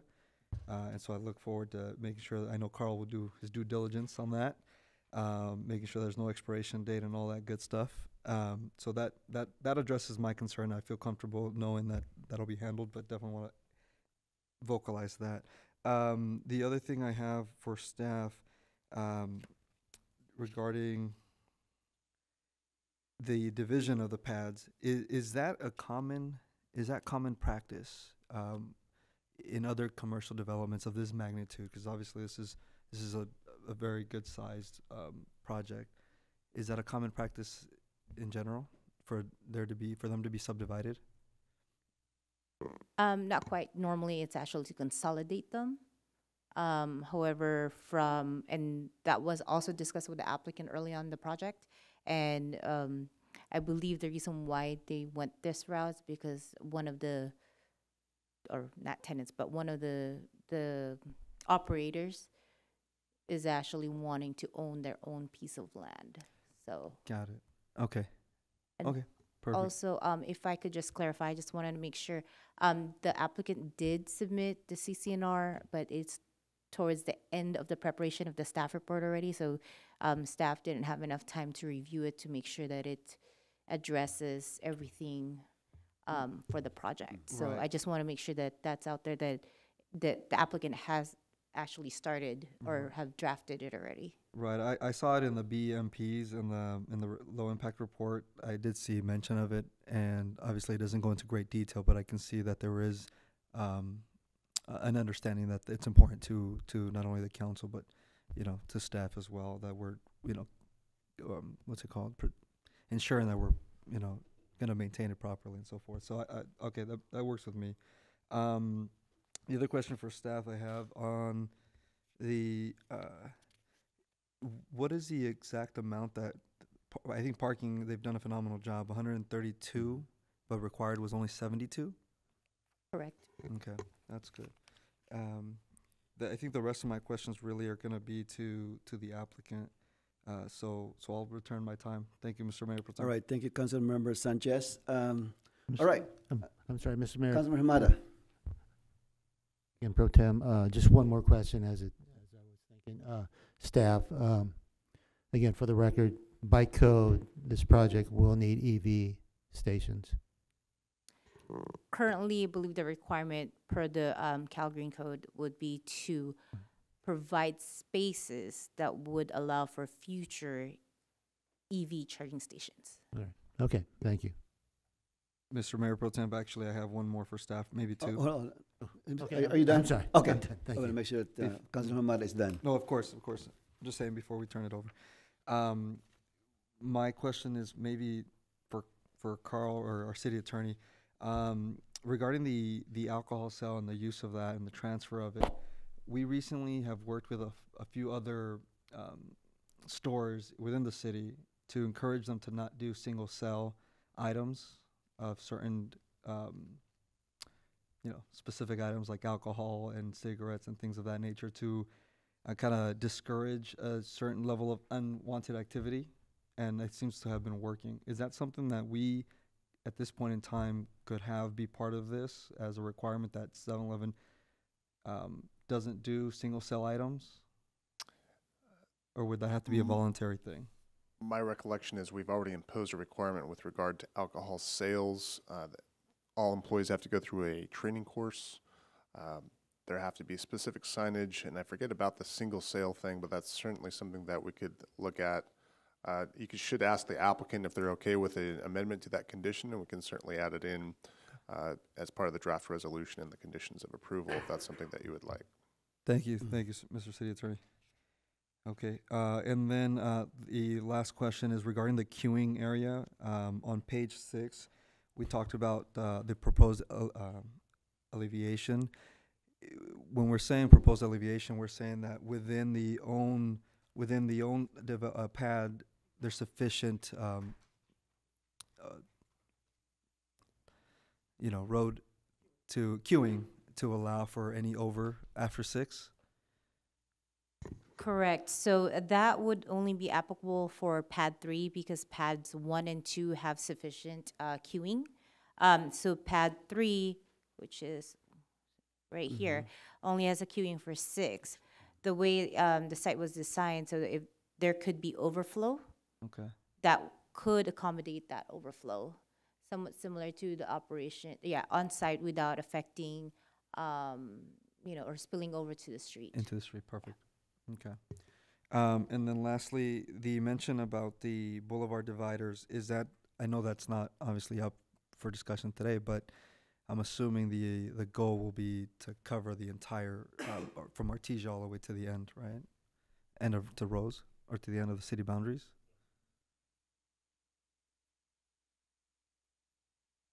Mr. Gorecki?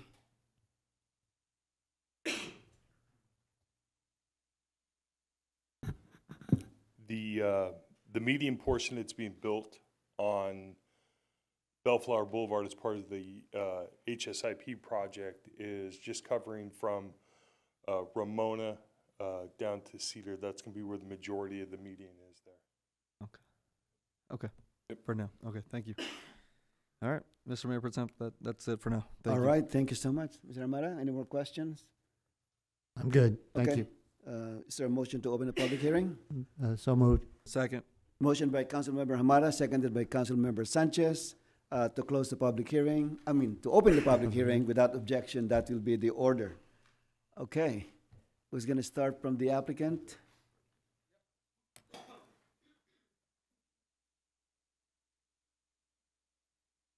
Good evening, I'm Jeff Gold, I'm the applicant, my family owns the property. We've been working with uh, city staff and city management for um, a couple years now, several years now, and although the team has been very detail-oriented and very focused on the, you know, on what's in the best interest of the residents of Bellflower, it's been a good relationship, and we appreciate all the cooperation.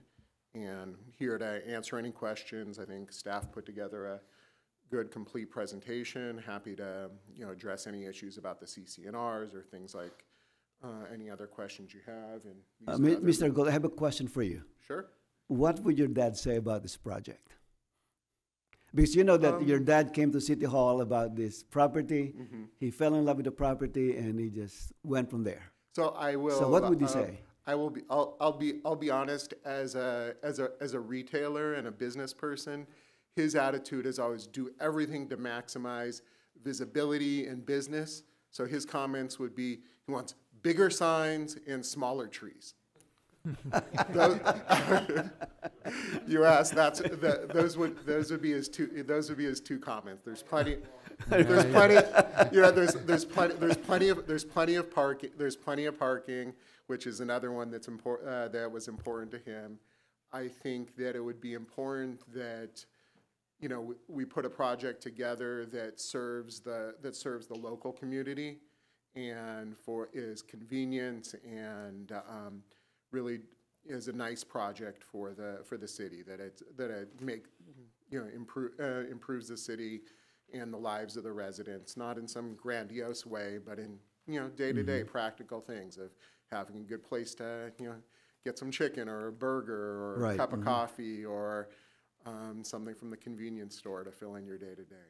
And, and considering the paths that they've been proposed so far, I mean, I'm very excited about it. Pollo Campero, uh, Sonic, and then 7-Eleven. Those are very, very impressive, and those are things that we need in the particular area. Um, so uh, the other question I have for you is, um, oh well, it's a comment about the parking. Uh, we may think that 132 is is a lot compared to what's required, but keep in mind there's drive-through. So the queuing is going to be affected. So we, we may need those 11, 11 vehicles for pads one to one and two, and I think we may, we may come short on pad three, eventually. So I, I think the city will be well served with those um, you know parking spaces.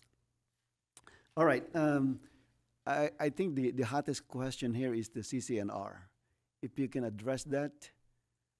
Sure, so we've been, uh, working with the tenants and the, and the one owner who's gonna be another co-owner of the center.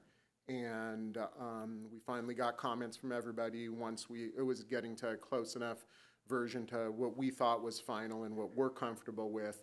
We forwarded that to staff, it was a week or two ago.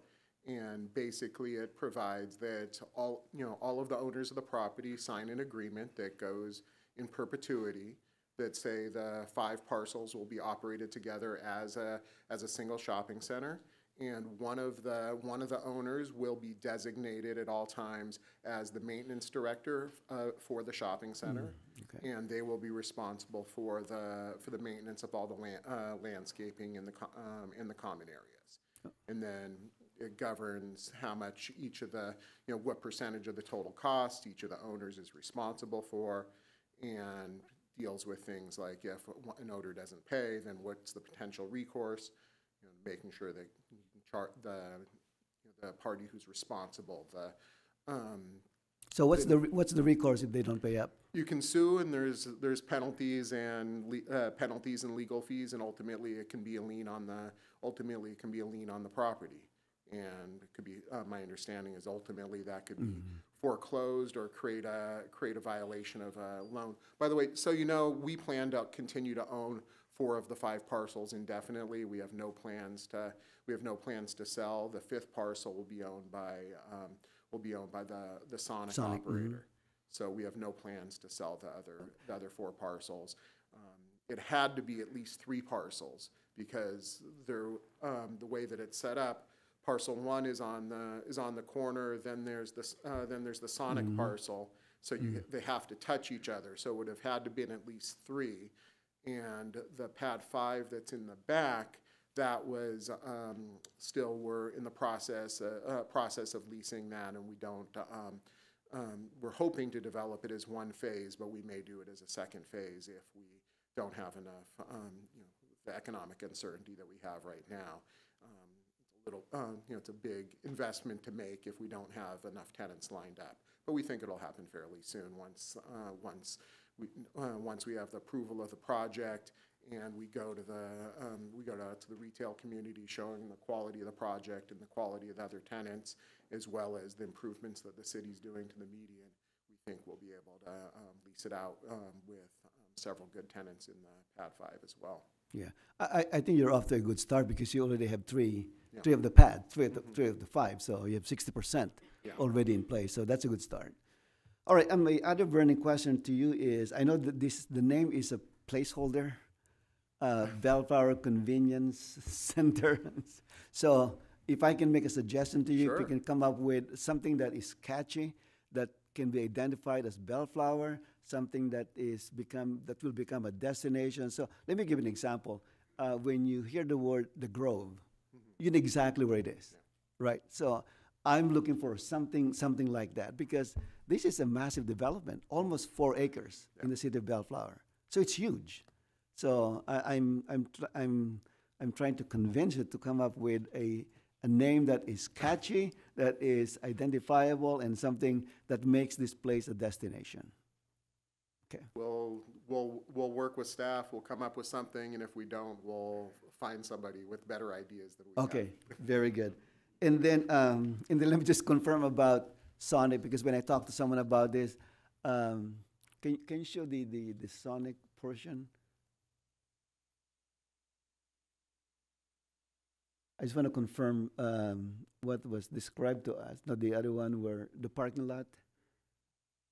Where it says Sonic, no, the other one, uh, there's the, uh, I think it's before this.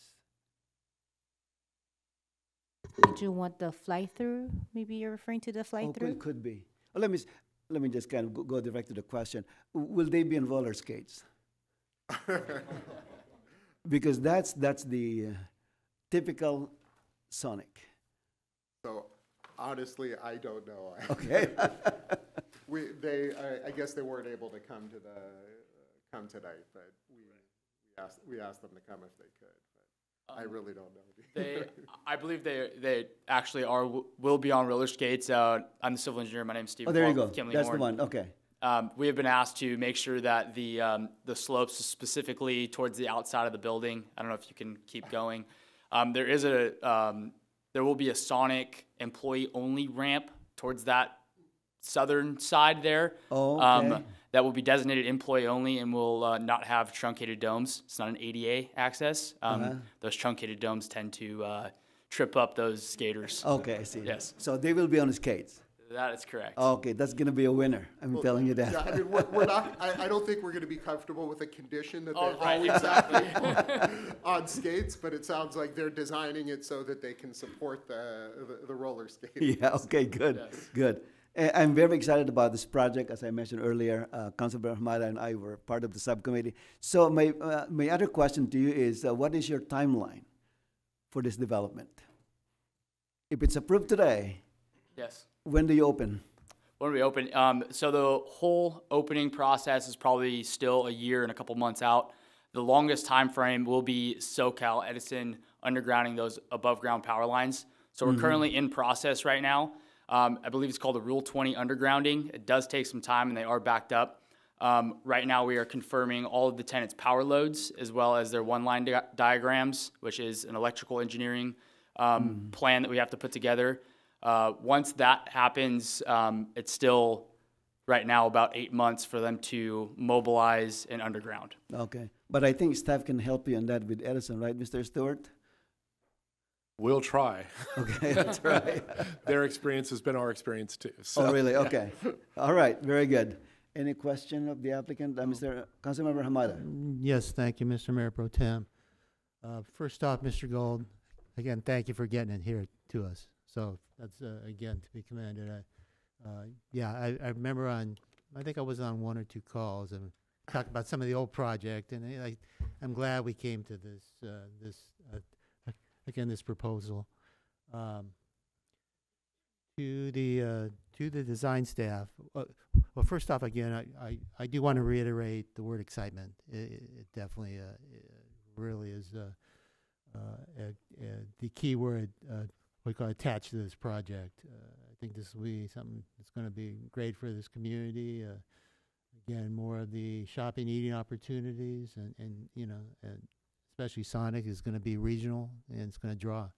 So, um, um, again, I think uh, uh, looks like uh, you've done well with the materials and, and the colors. Uh, definitely want to again praise the architect. Are you the architect? Oh, good, thank you.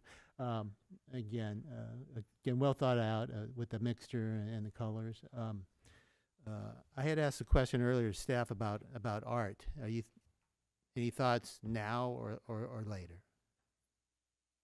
I mean, we're, we're open. All right, all right. I think about it. That's yeah. that's what. uh, We're, we're just want open. you to I hear- think yeah. We talked about, you know, we can, we can pay the fee, we can put something on site. I mean, I love art, but I'm not an artist. So th- Well, that's I- that's turn into the definitely not, definitely not gonna be me to, doing the, doing the Yeah. artwork, but we can, you know, we, we're happy to work with, uh, happy to work with the staff and, um, figure something Yeah. out. Uh, uh, okay, Rowena, could you go to the site plan? Just wanted to hear from the architect on, uh, again, why, we've been told, and, and I just want to hear from the architect. Councilmember, could you repeat that again, please? The, uh, the The- site plan. Site The plan. lot. Site plan. Oh, the lot, The yeah. lot, it's the yeah, lot, the uh, vacant lot. No, no, not the Not the vacant vacant one. lot? No, the one with, uh, we had the, uh, you know, parcel uh, divisions and so on. I think, yeah, the site plan. That's- Did I say, not say site plan? There you go. Oh, there, There- yeah, there it is. Perfect, perfect, that's it. Uh, a pad two, which is Sonic.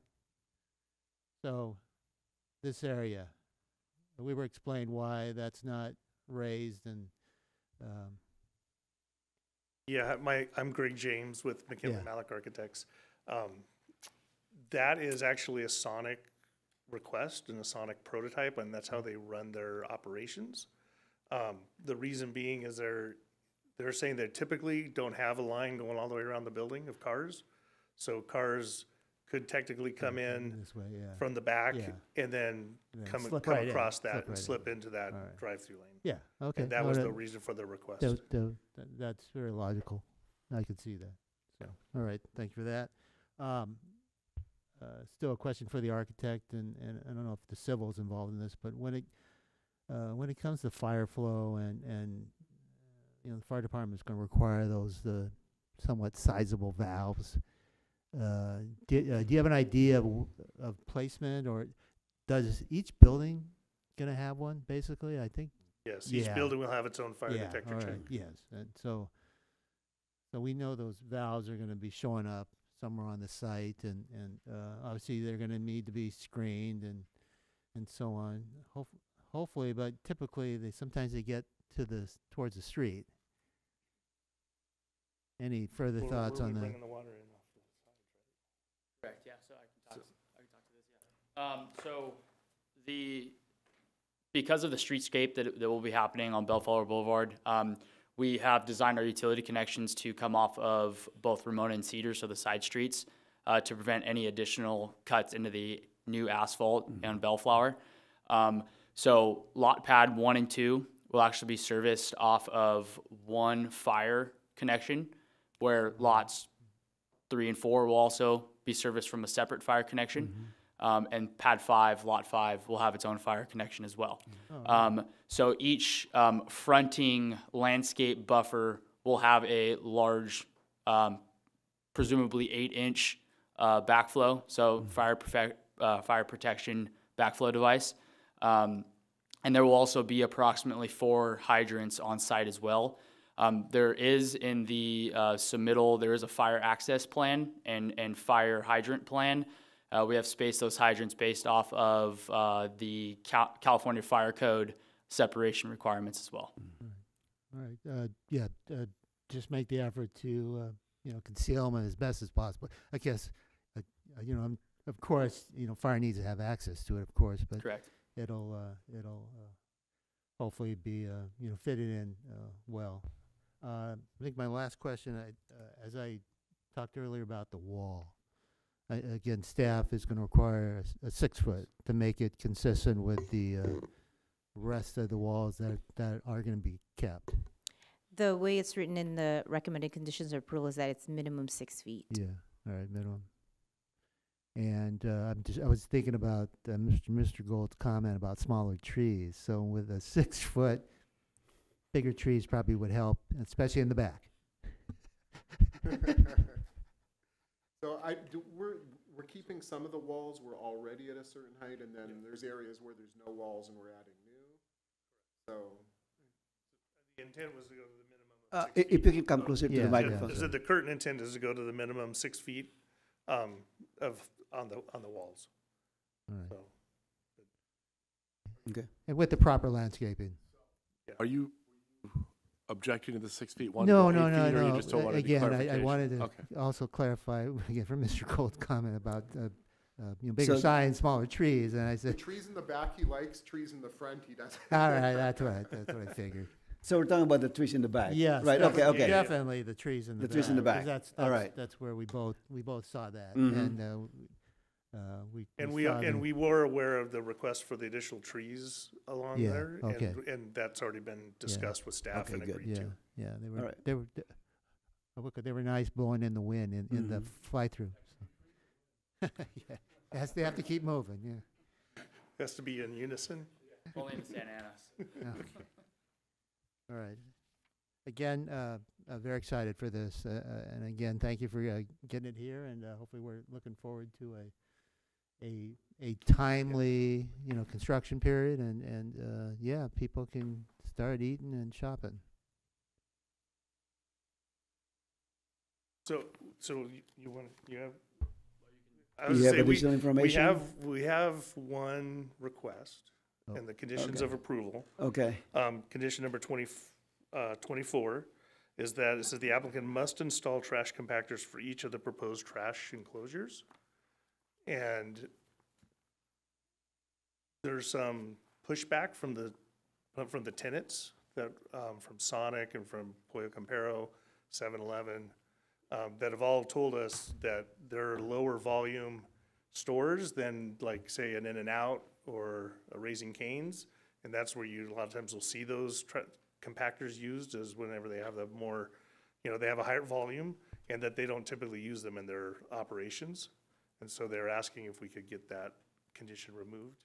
I don't know, you had more information on that or not? Yeah, and uh, as far as the size of the enclosures as well, um, they are sized to include three double-size six cubic yard bins, which are already on the larger side, not typical. Typically, we see uh, waste management give three-yard bins, and so we technically would have double the size allocated inside our trash enclosures than what operations would normally have.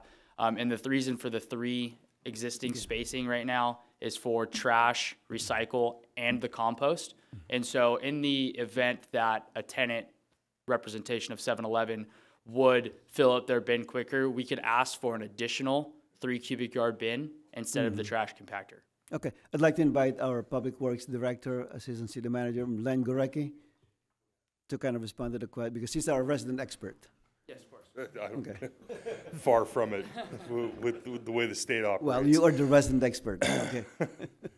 So, um, I Bernie and I would be happy to go back and talk with Beth regarding this condition. I, I think what you, what's important to understand here is, um, the amount of space that will be taken up by bins, the fact that each business will have to have its own account, therefore its own bins, its own enclosures, uh, and working along that, um, you know, probably is what led us to, um, conditioning the, the compactor, uh, just simply from a, a space, a, a decrease in frequency, and its ability to handle everything from normal trash to the organics to the, to the uh, recycling in those bins. So, um,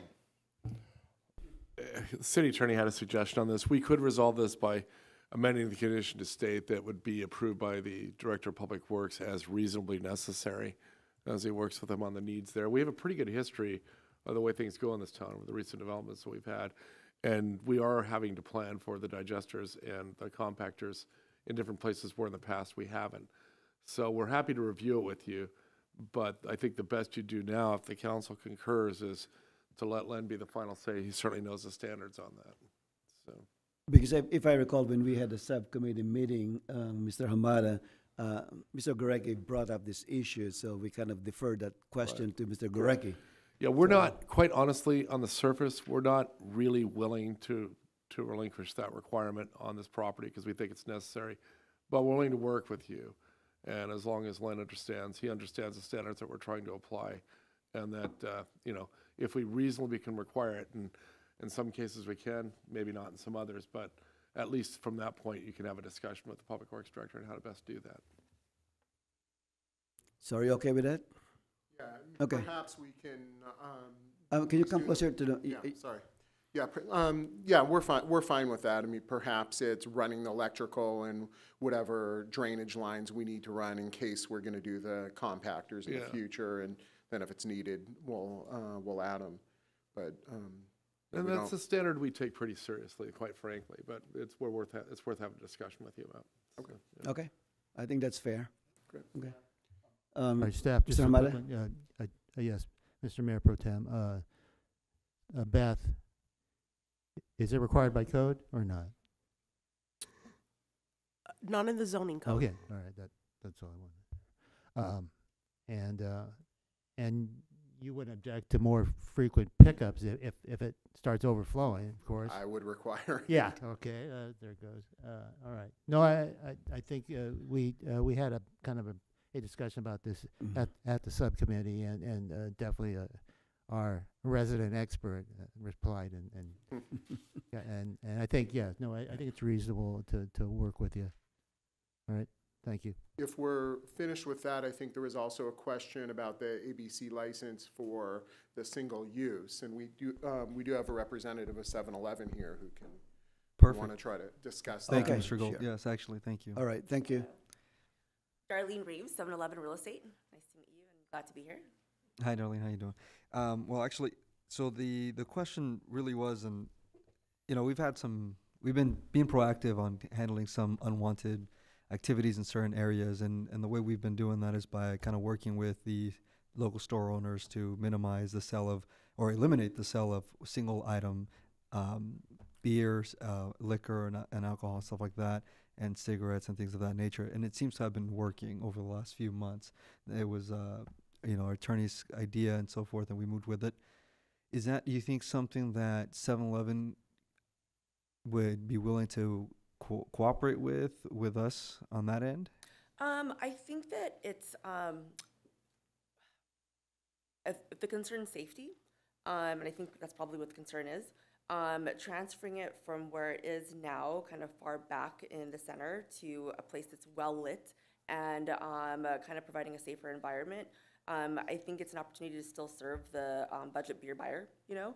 It's Um, not about safety, it's about congregation of people who sit and drink singles in front of those locations. We have a history of that at the current 7-Eleven, that's why he's bringing it up. Okay, so Yeah. yeah, I understand that too. Yeah. So I mean, we're, we're willing to work with you guys, uh, one hundred percent. Uh, we'd love to keep that opportunity there, but, uh, we understand that the compromise we might have to make as far as safety or staff or training or whatever it may be to accommodate that as well. Perfect. Okay. Thank you. Like. Thank you very much. Uh, and if I may, Mr. Mayor, Sure, Pro Tem, I'd like to Go ahead. ask a few other questions. Uh, Mr. Gold, first off, pleasure to have you here. Um, as you know, I'm not part of the subcommittee, so it's my first time seeing everything. Um, uh, so excited to see it here, everyone. Thank you for your information and for everything. Um, couple of things on the note about your about signage and bigger signage and more visibility. Um, i- is there plans in the future to find some way, you know, to acquire some land near the 91 and put up a nice big Sonic, you know, um, the the standard Sonic sign that you normally see like in Fullerton or or when I'm going down the five to you know to uh, north uh, five north. I, you know, we don't have any specific plans. I think in terms of the, if it was just to serve the Sonic, it would be, you know, it would be really up to, it really be up to them to, to do that. If it was something that could, you know, advertise the, advertise the whole center, then we'd certainly be o- uh, op- uh, open to it. That would be great for the, you know, great for the property. I would encourage it. You know, it's something unique, it's something great. Kind of talking ab- ab- about Mr. Uh, Mayor Pro Tem's comments about, you know, being something that that uh, that'll be a drive and bring people to the city. Uh, it'd be neat to see something like that. Uh, kind of like the In-N-Out sign. You know, just visibility wise, it'd be nice to have. My opinion, no requirement, just food for thought. Wanted to throw it out there. Um, the the other item that I wanted to talk to you about um, on the plan A, uh, the sheet number A zero one zero, uh, item fifteen and sixteen. There's mention about a future electrical vehicle stall. You have uh, seven stalls there, and then a future clean air and van pool EV stall, four stalls. Um, my question there is when, when it says future electric vehicle stalls, are they simply stalls or are they actual electric charging stations? Yeah, um, as has been stated before, so the California Green Building Code only requires those stalls to be future. And so, um, what that means right now in the code is that we would install uh, direct conduits from the back room, uh, so the electrical room and each tenant into that space, uh, two empty conduits with pull string. Um, for and that load would actually have to be available inside those panels as well. Um, if those stalls were to actually have EV stalls in the future, all that would need to be done is that stall would have to be the the charger would be placed there and hooked up into the into the electrical room. So you'll leave it prepped and ready for the future? That is correct When it's required? Okay. Okay, very good. Um, and you would know this better than I would, obviously, I'm not, you know, an engineer. The, is the, is there a requirement for the number of stalls? Is that the seven and four?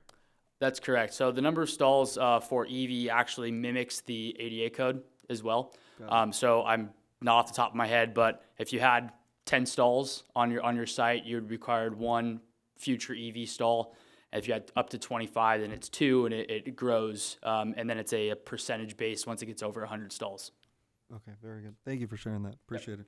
Awesome. Thank you for that clarification. Um, okay, let's see. And then the other one I had for you, um, on the pad number five, the additional tenants.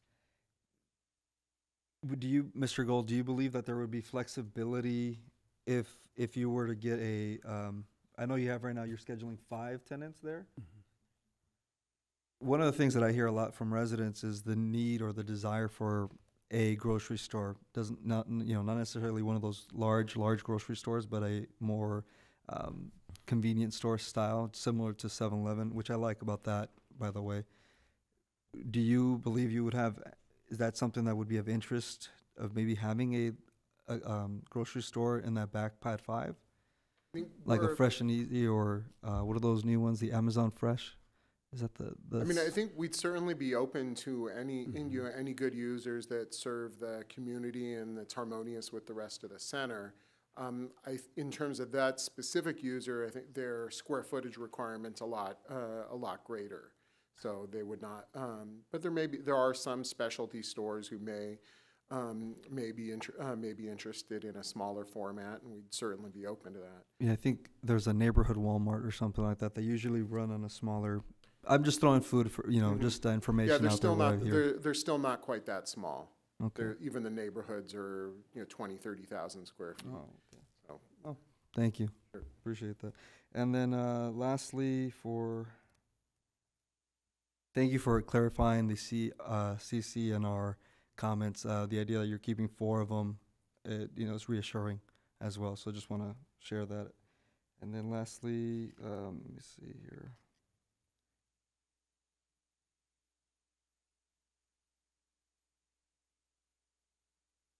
That's it, actually. Thank you very much. Thank you. Appreciate it. Uh, Mr. Mayor Okay. Pro Tem, that, that concludes my questions. All right, thank for you. the Mr. applicant. Hamada, any more final questions? Yeah, as I think here, um, uh, Mr. Gold, pad one, um, right now it's, um, you know, looking like a split, uh, building. Um, y- uh, you're still out there talking maybe for a, a single user. We, we have one, uh, we have one tenant who we're negotiating a lease for the front approximately 1,800 square feet. And it's not signed yet. They've asked us to keep it confidential, but it's a chain, uh, it's a chain, uh, it's a chain, very high quality, um, very high quality business. I think everybody would be very, uh, very pleased with it. They have drive-through and sit-down and uh, the patio use. And then we think once that lease is signed, we'll have, um, a num, uh, it'll be ve- relatively easy to lease the back portion, seeing the, the strong co-tenancy there. Yeah, uh, again, uh, you know, pa- uh, look at pad two, the, uh, Sonic, I, you know, to me, you know, Sonic is, is uh, definitely one of the, uh, you know, gems of this project, and I think it's one of those build it, they will come, Mhm. so, um, definitely, that's, that's been the big plus of this project, I think.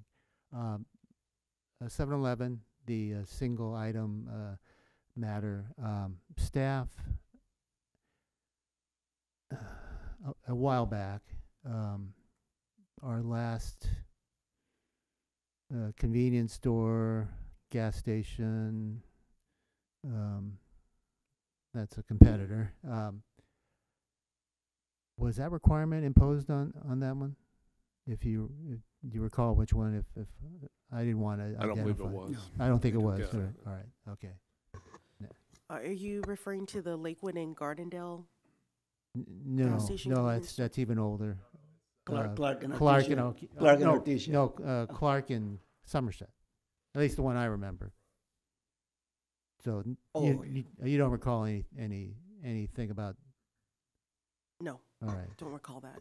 Yeah, maybe it was related to the, um, uh, the access points. The, as the issue here, though, is the local history Yeah, that we have. yeah, That's yeah. what's Oh, driving yes, this, definitely yeah. across the street, I, I. May uh, I address um, something that Mr. Sure. Sanchez brought forward, though? Sure, go ahead. Um, So this um, convenience store is about double the size is of the one that we have currently.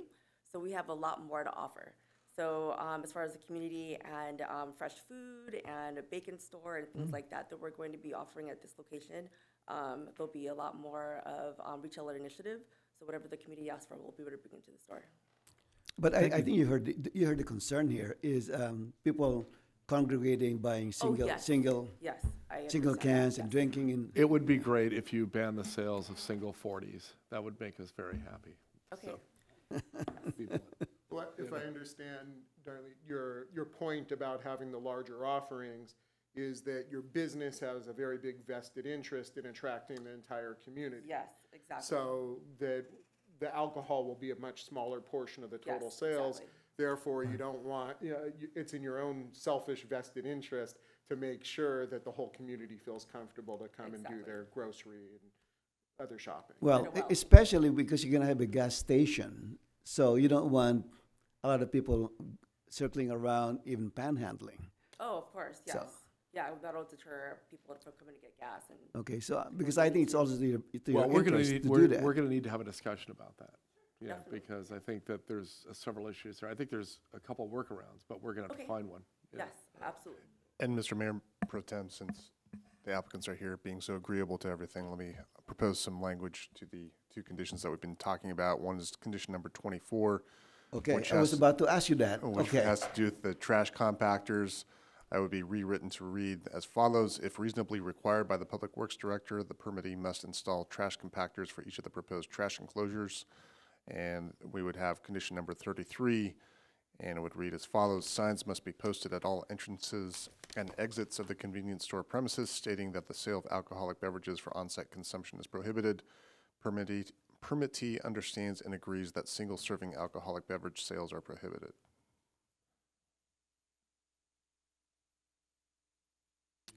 Did you- Did you hear, uh, condition thirty-three?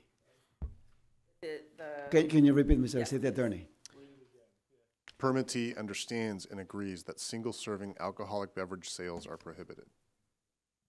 There'll be a condition for not having the trash compactor or No, no, No, no, no, the separate, sing, the single, single serve. single serving. Like one can. He's saying, what he's reading into the condition On the sales of single cans of alcohol or bottles of alcohol. They don't, we want to stop the sales of singles. Okay. If, if, if you're good with that, we're gonna write it in the conditions.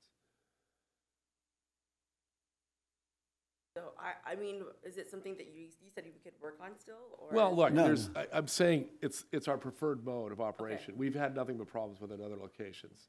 And we're gonna dig in pretty hard. You would have to, quite frankly, you'd have to come up with a, a very, very detailed security plan to stop that if you didn't have that condition in there.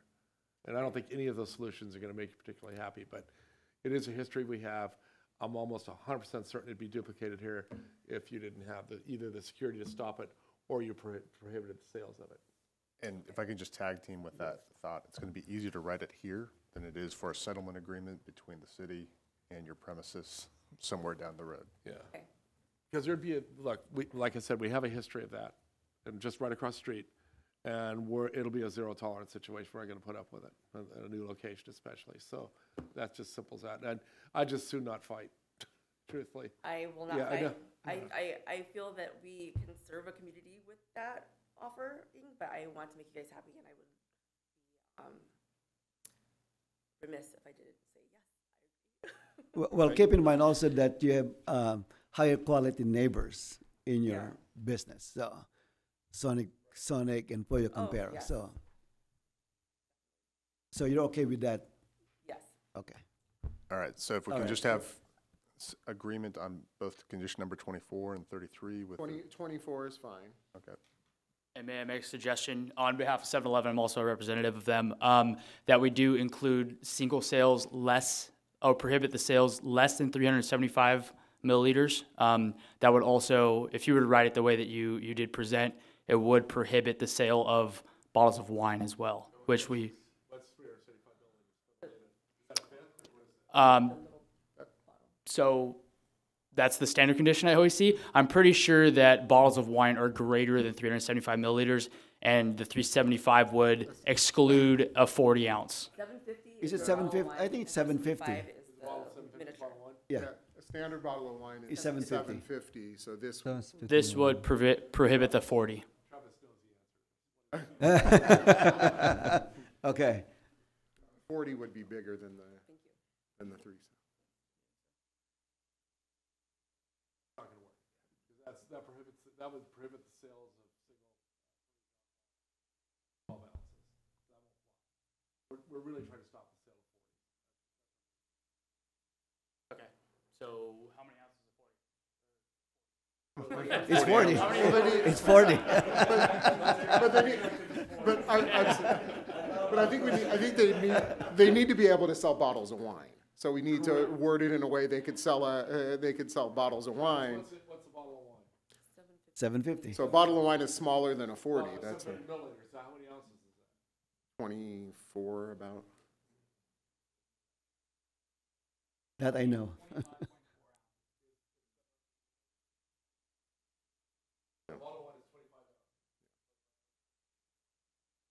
Uh-huh. What, perhaps we said Can- beer, malt liquor, beer in forty ounces or less, single serving? I, Okay.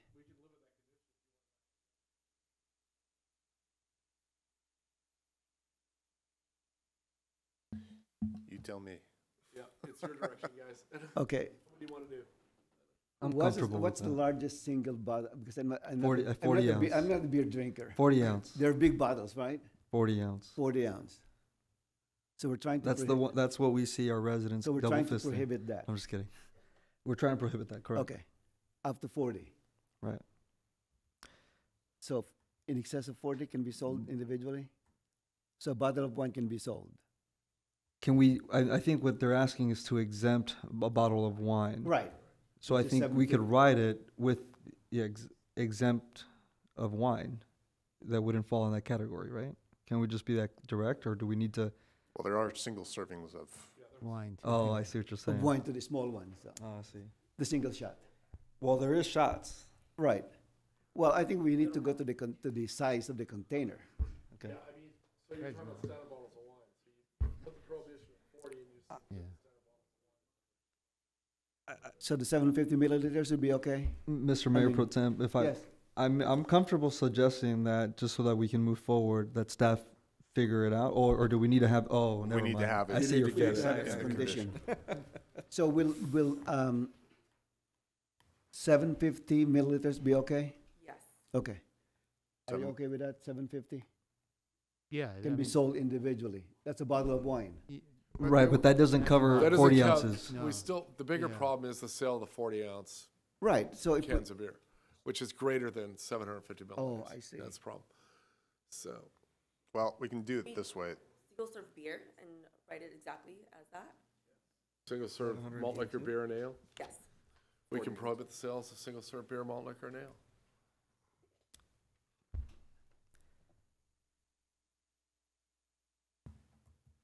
FYI, a forty ounce is eleven hundred and eighty-two milliliters. Yeah. that's, a lot. um, that's a lot of wine. That's a lot of wine. That's a lot of wine.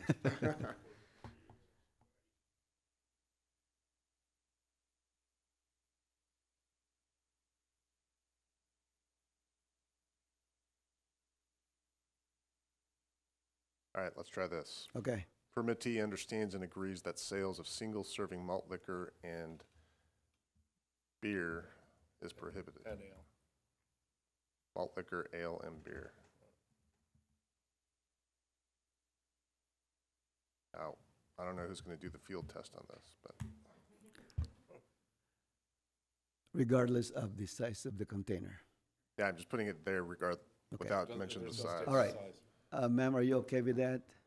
I am, thank you so much. There you go. All right, Yeah. thank you. Okay. Again, we said single, single. Single. serve, is it? Victor, Uh, you- wait, you- one, yes, thank you okay you. with I was getting clarification real quick. So I think that sounds great. The only thing is, it does not include har- hard liquor. We don't have that type of license. Okay, here. great. Uh, Perfect, thank you. Appreciate that And, and clarification. in anticipation of your next question about single cigarette sales, that's already prohibited. Yeah, thank you. Okay. I wasn't gonna ask that.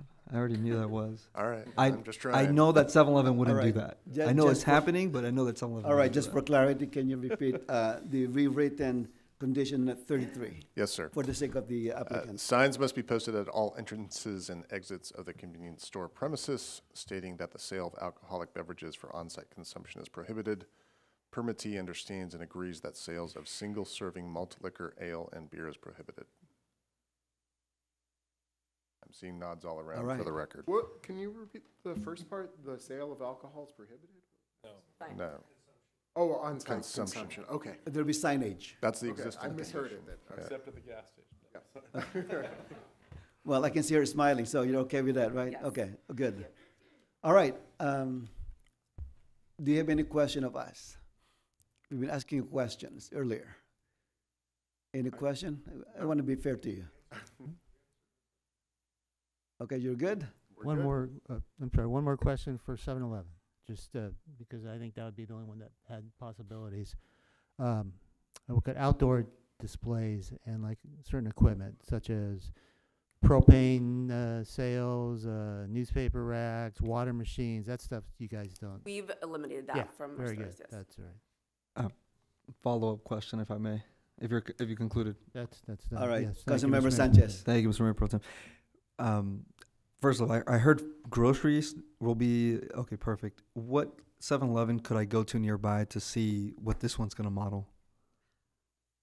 You know, that's a great question. There's a lot of them being remodeled as we speak. Okay. Um, so I could find out and then follow up with you and, and let you know. Perfect, But a thank lot of them have, will have like a nine foot grocery section for like ready to eat craft, um, um, noodle stuff like that. So Thank you. Well, I thought you were going to say Belfast could be the first one.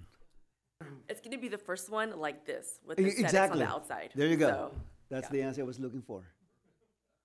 Thank you so much. All right, um, thank you. I'd like to hear from the public. If there's any comment from the public, any question, give you an opportunity to chime in. Yep. This is the old Flatabo, uh, parcel, is it? yeah. Glad to finally see something happening with that. Uh, my understanding is four out of the five buildings are, have tenants for them? It's right now, it's Or all three- five? Three. Huh? Officially, they have three tenants already, Three? out of five. Okay. Because uh, I, I would imagine it's, they've had one, two, and three, which would leave five in the back hasn't got a tenant yet. It's pad, pads two, three, and four. Hmm, Two, three, and four have the tenants, okay. Because I brought up an item a while back about possibly relocating a restaurant. Which I would, I would love to see happen. Because with these people here with three parcels already with tenants for it, there could be room for a restaurant in the back of, if the city is willing to work with it money-wise, and the developer to help out a little bit, to move, relocate the Sizzler. And at that point of relocating the Sizzler, would open up that whole big lot there where Northgate Market is interested. And I told you, I know the people at Northgate. So that would be up to the owners here, developers or whatever, if they're interested in something of that nature, and if the city is too. Now, the other thing that kind of bothers me, of battling around about one container, alcohol. How do you sit there and try to put something on a business and you don't even own a business or know nothing about a business? It's not up to you people to tell these, this poor lady here that she can only sell, she can't sell, uh, one item. She gotta sell one item only, or whatever it is. It's none of your darn business. You're not running it. You don't own the business. They're trying to make, make something of it and sell, sell a product. So to even try to formulate something and tell a person how they're gonna operate that business, or you don't like it, you all need to be replaced. You're stepping out of your bounds, and personally, I think you've opened yourself up for one hell of a lawsuit. And you deserve it too. Thank you. All right, um, thank you, John. The, um, the applicant agreed to the conditions, so that's theirs to, to say. Okay. All right, thank you. Any, anyone else?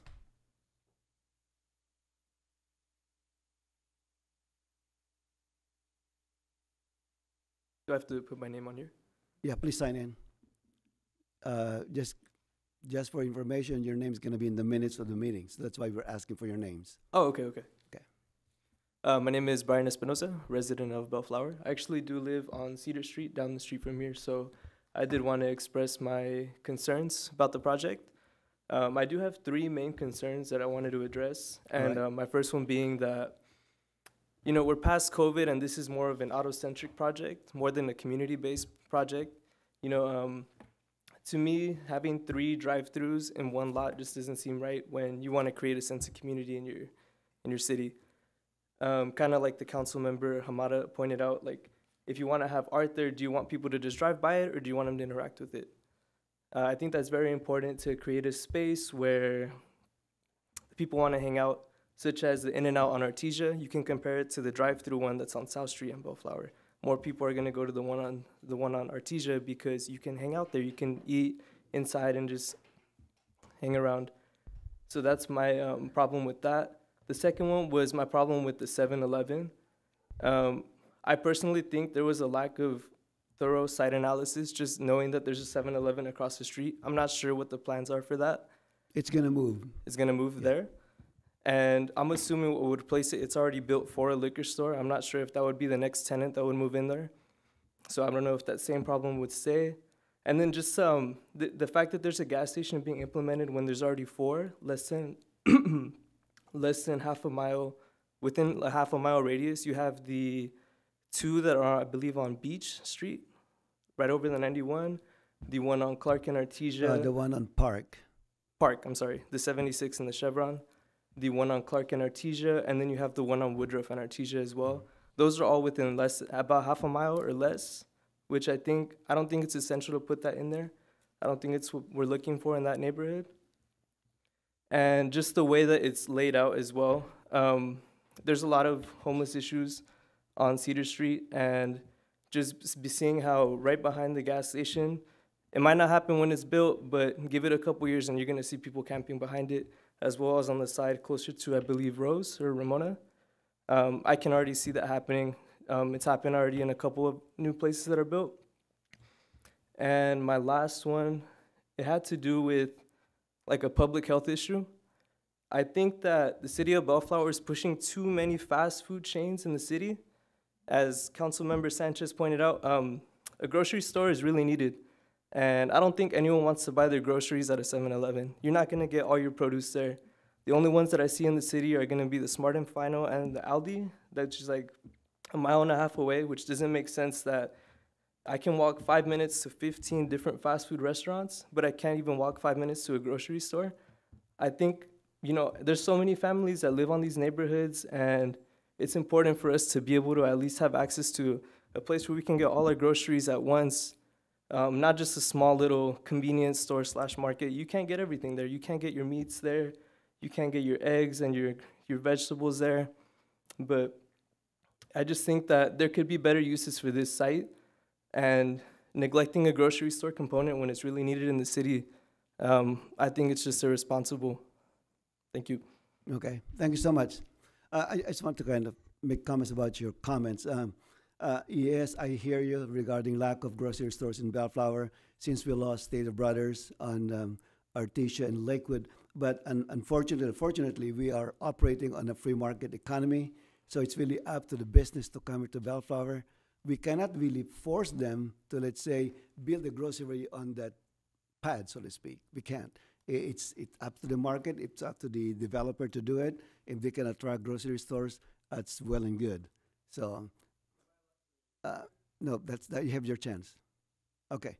All right, anyone else? All right, thank you so much. All right, Mr. Hamada, Mr. Sanchez, what's your pleasure? I'll, uh, uh, uh, move to close the public hearing, if that's what. All right. Second. Uh, motion by Councilmember Hamada, seconded by Councilmember Sanchez to close the public hearing. Without objection, that will be the order. All right. Um, Mr. Mayor Pro Any, Tem, any final comments before we move on? I, I think I have some final comments Sure, to go make. ahead. First off, um, you know, there was conversation regarding, you know, the oversight or stepping out of boundaries and trying to manage or mitigate concerns that are in our community. I think that we're doing the right thing this evening by taking those steps. I don't think that it's an over, I don't think that we're overextending our boundaries or what have you.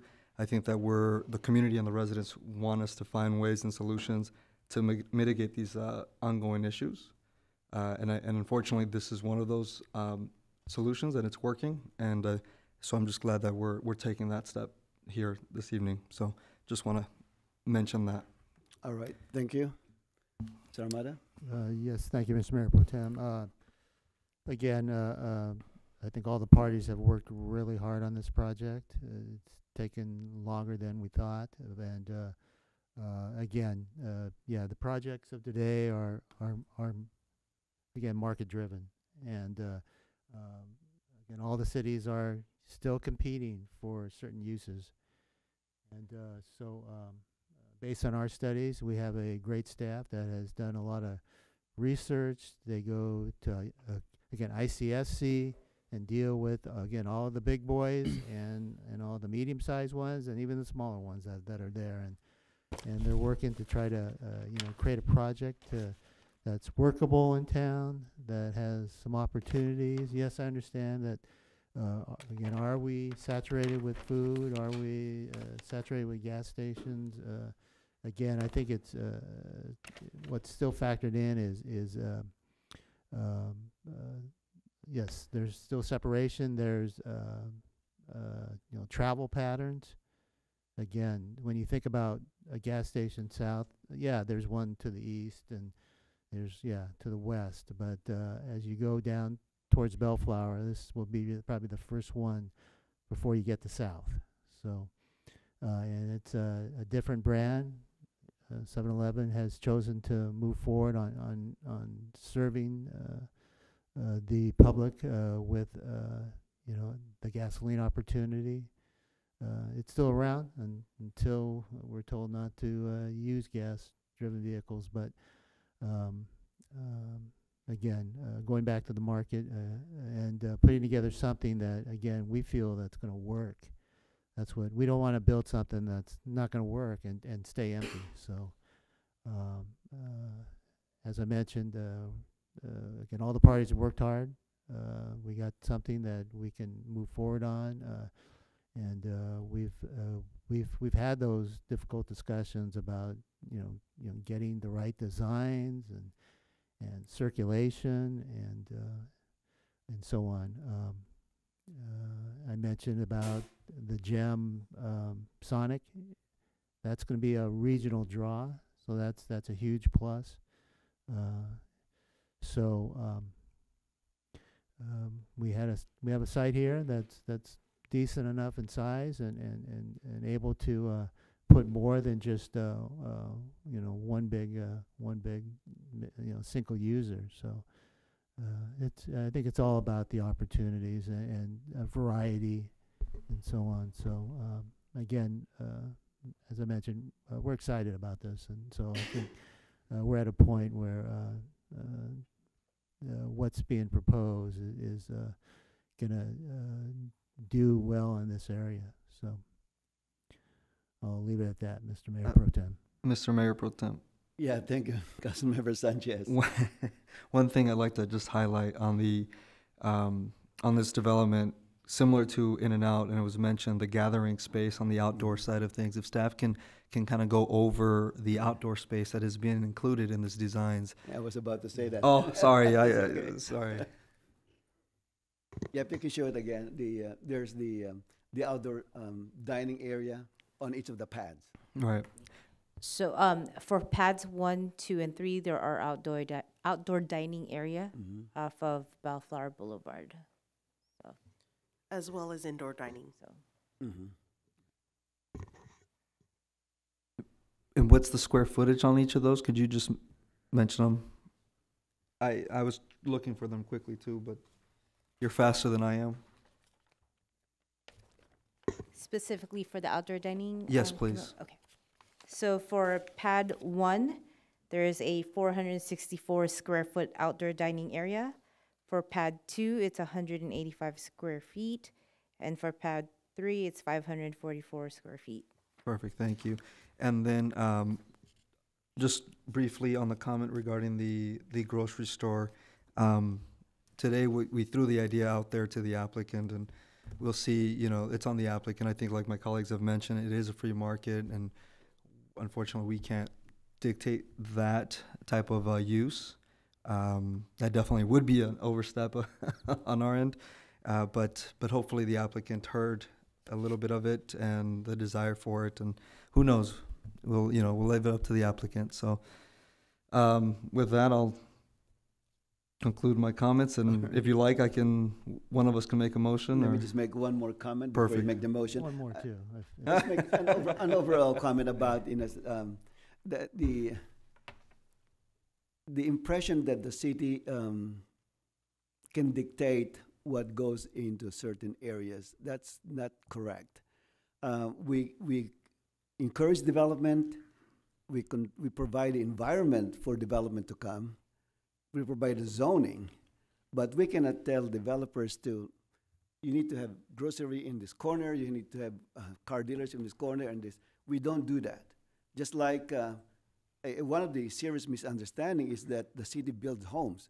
We don't build homes. We can't. We provide the environment so that homes can be built. We're not in the business of building.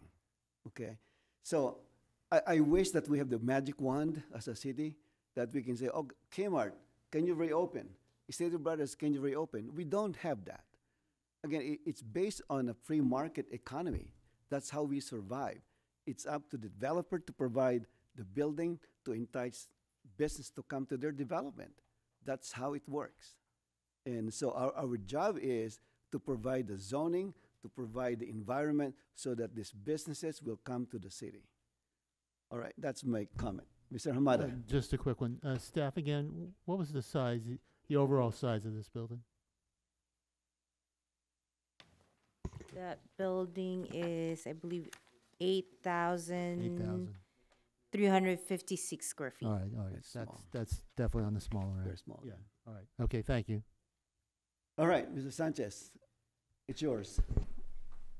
Uh, yes, thank you, Mr. Mayor Pro Tem. I'd like to, um, make a motion to adopt resolution number twenty-two sixty, a resolution approving conditional use permit case number CU twenty-one 3 for three restaurants with drive-through components, a fuel station with an accessory of off-site alcohol sales for developing on lots that will measure less than one point five acres and development review case number DR six 21 one two zero eight to allow for the construction of five commercial buildings on properties located at one seven six one seven through one seven six three nine Bellflower Boulevard within the design for development for South Bellflower Commercial Area, also known as DFD.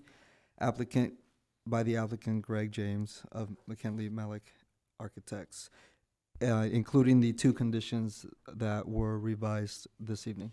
Twenty-four. 24 and 33. thirty-three. Okay, I will second. all right, motion by, uh, Councilmember Sanchez, seconded by Councilmember Hamada, uh, to approve resolution twenty-two 60 as amended. Uh, roll call, please. Councilmember Hamada, Aye. Councilmember Sanchez, Aye. Mayor Pro Tem Santa Ines. Aye. All right, Mr. Gold and team, congratulations.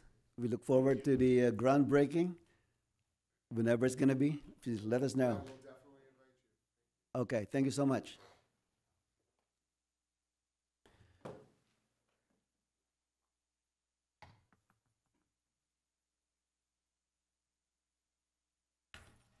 Oh, by the way, staff, thank you for uh, putting the, some of the items on, on a flash drive. That was very helpful. I don't want to kill more trees, you know. Yeah, I know.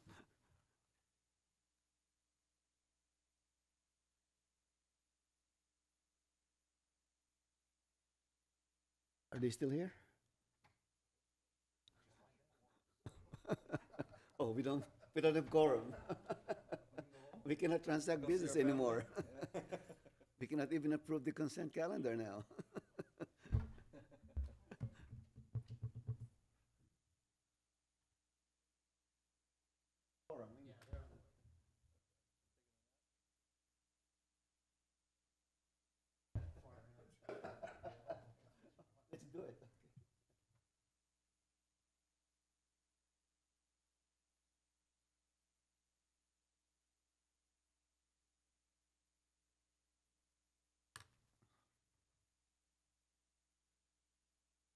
All right, let the record reflect that Mayor Dunton and Councilmember Koops uh, have rejoined the city council meeting. All right. All right, Mayor, Well, I see the you floor is yours. Thank you. We work hard on that last item, yes. Well, I see you still have an audience. Well, it was, it was a very exciting meeting. Okay. All right. Okay, I got the easy stuff left, I think.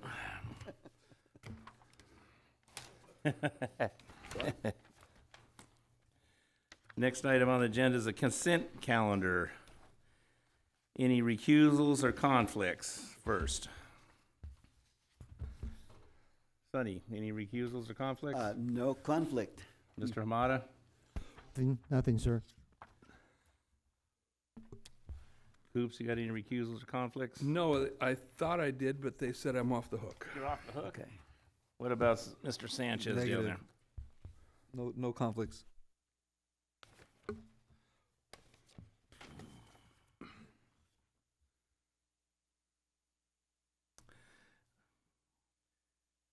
Well, I got a conflict on ten E and ten F regarding property conflicts within five hundred feet. I want to recuse myself from ten F and ten E. Okay, any items want to be pulled for discussion? No? I would like to, yeah, I guess I'm gonna be the guy today. Uh-oh, uh-oh.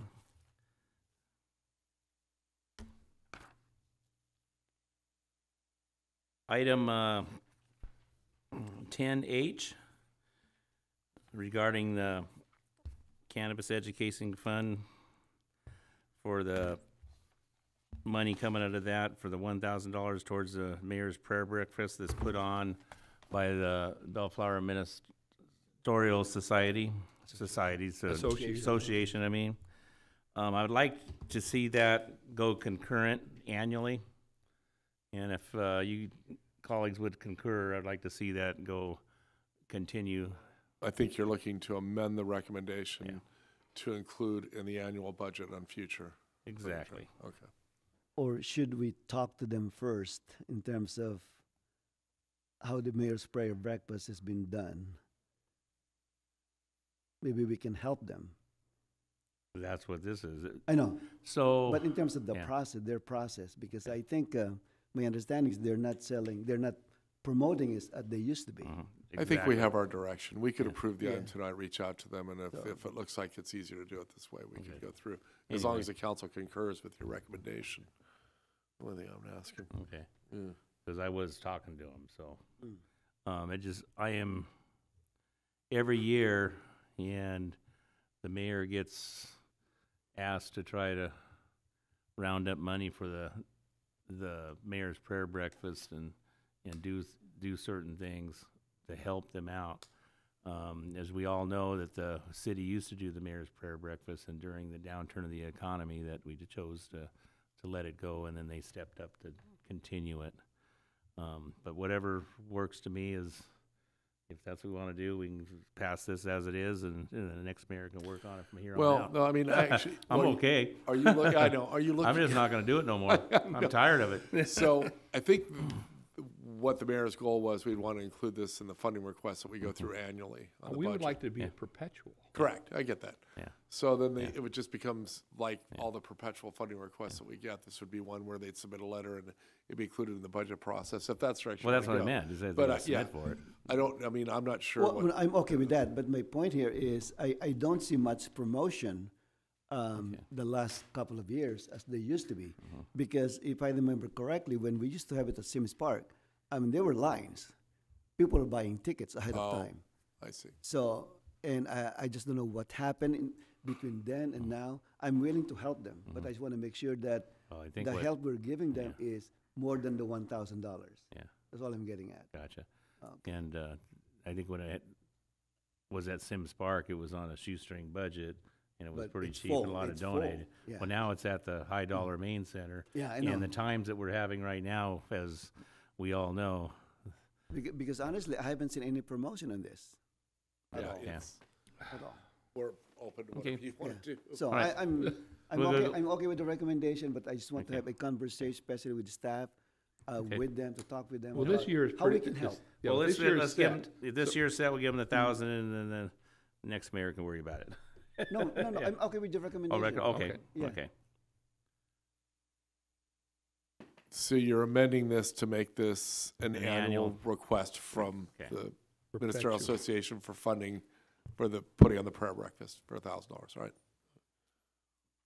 Okay. As long as you guys are good, I am. What else do you have, Ray? Something else? That's it, that's all there is. Um, I'm the only one that got recusals, so I'll entertain a motion. I'll make a motion to approve the consent calendar. Second.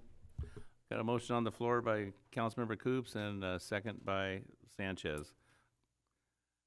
Without objection, that'll be the order, with myself recused from ten F and ten E. And modified, And with, yeah, modified ten H as amended.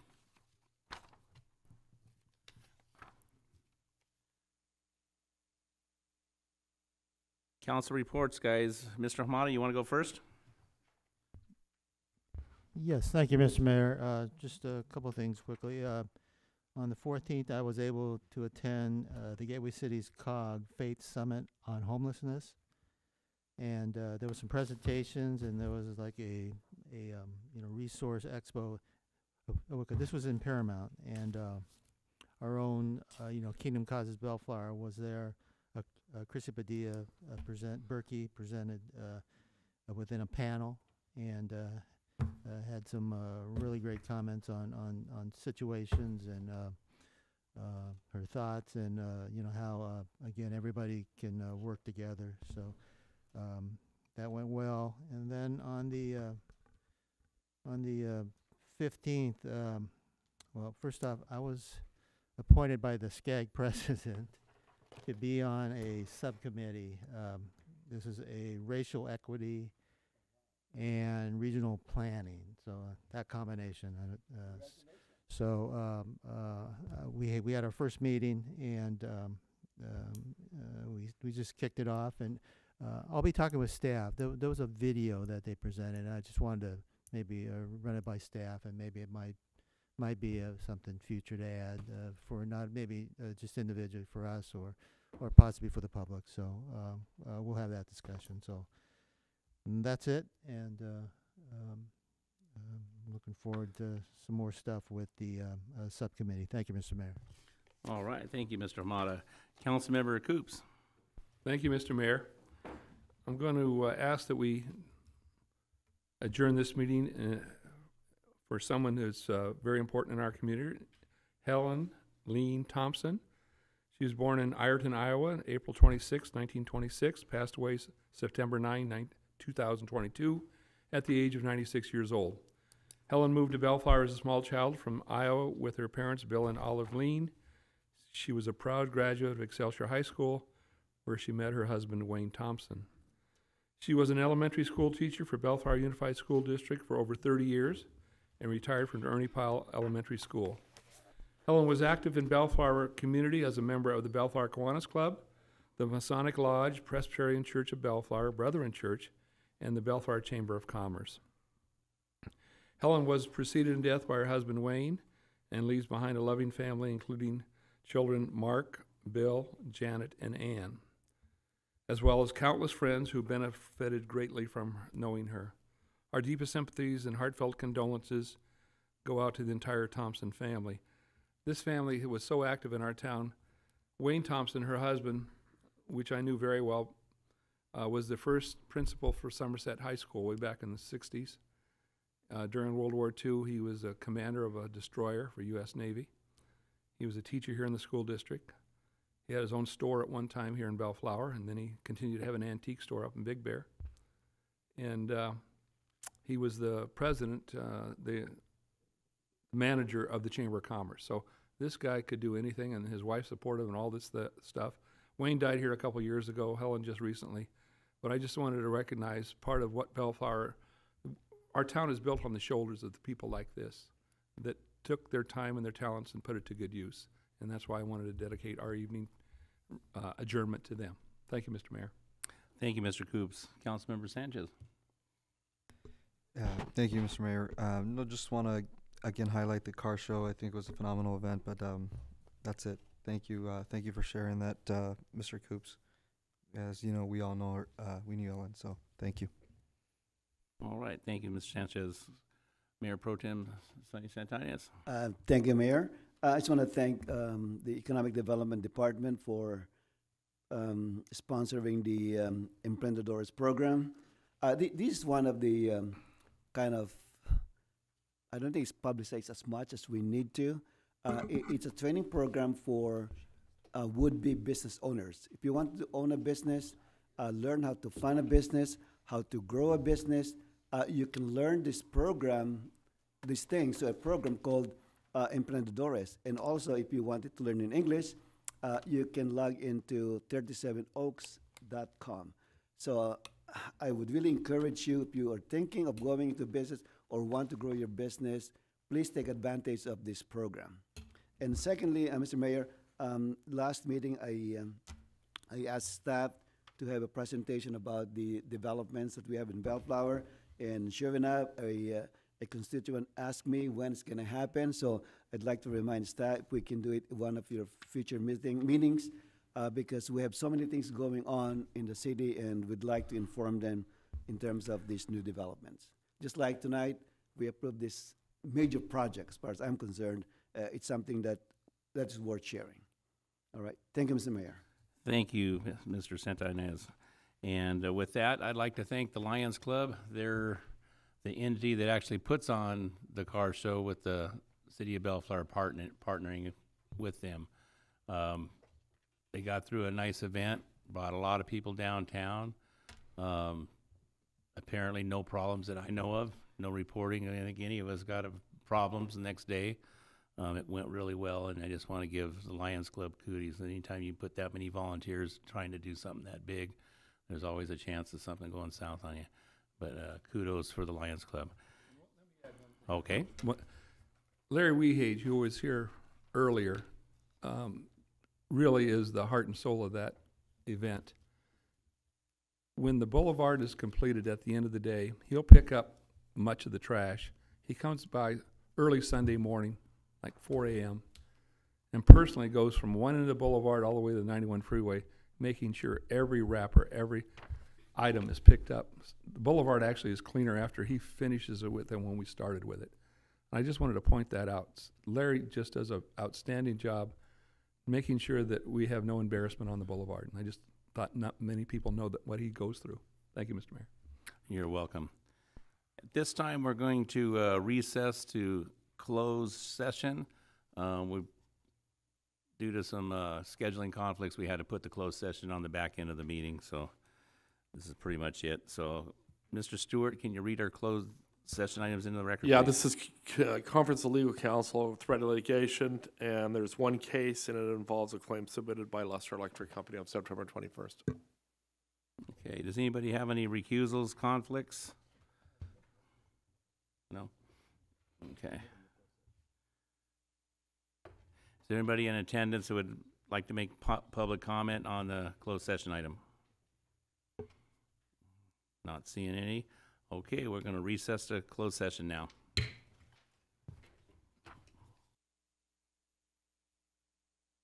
Are we recording?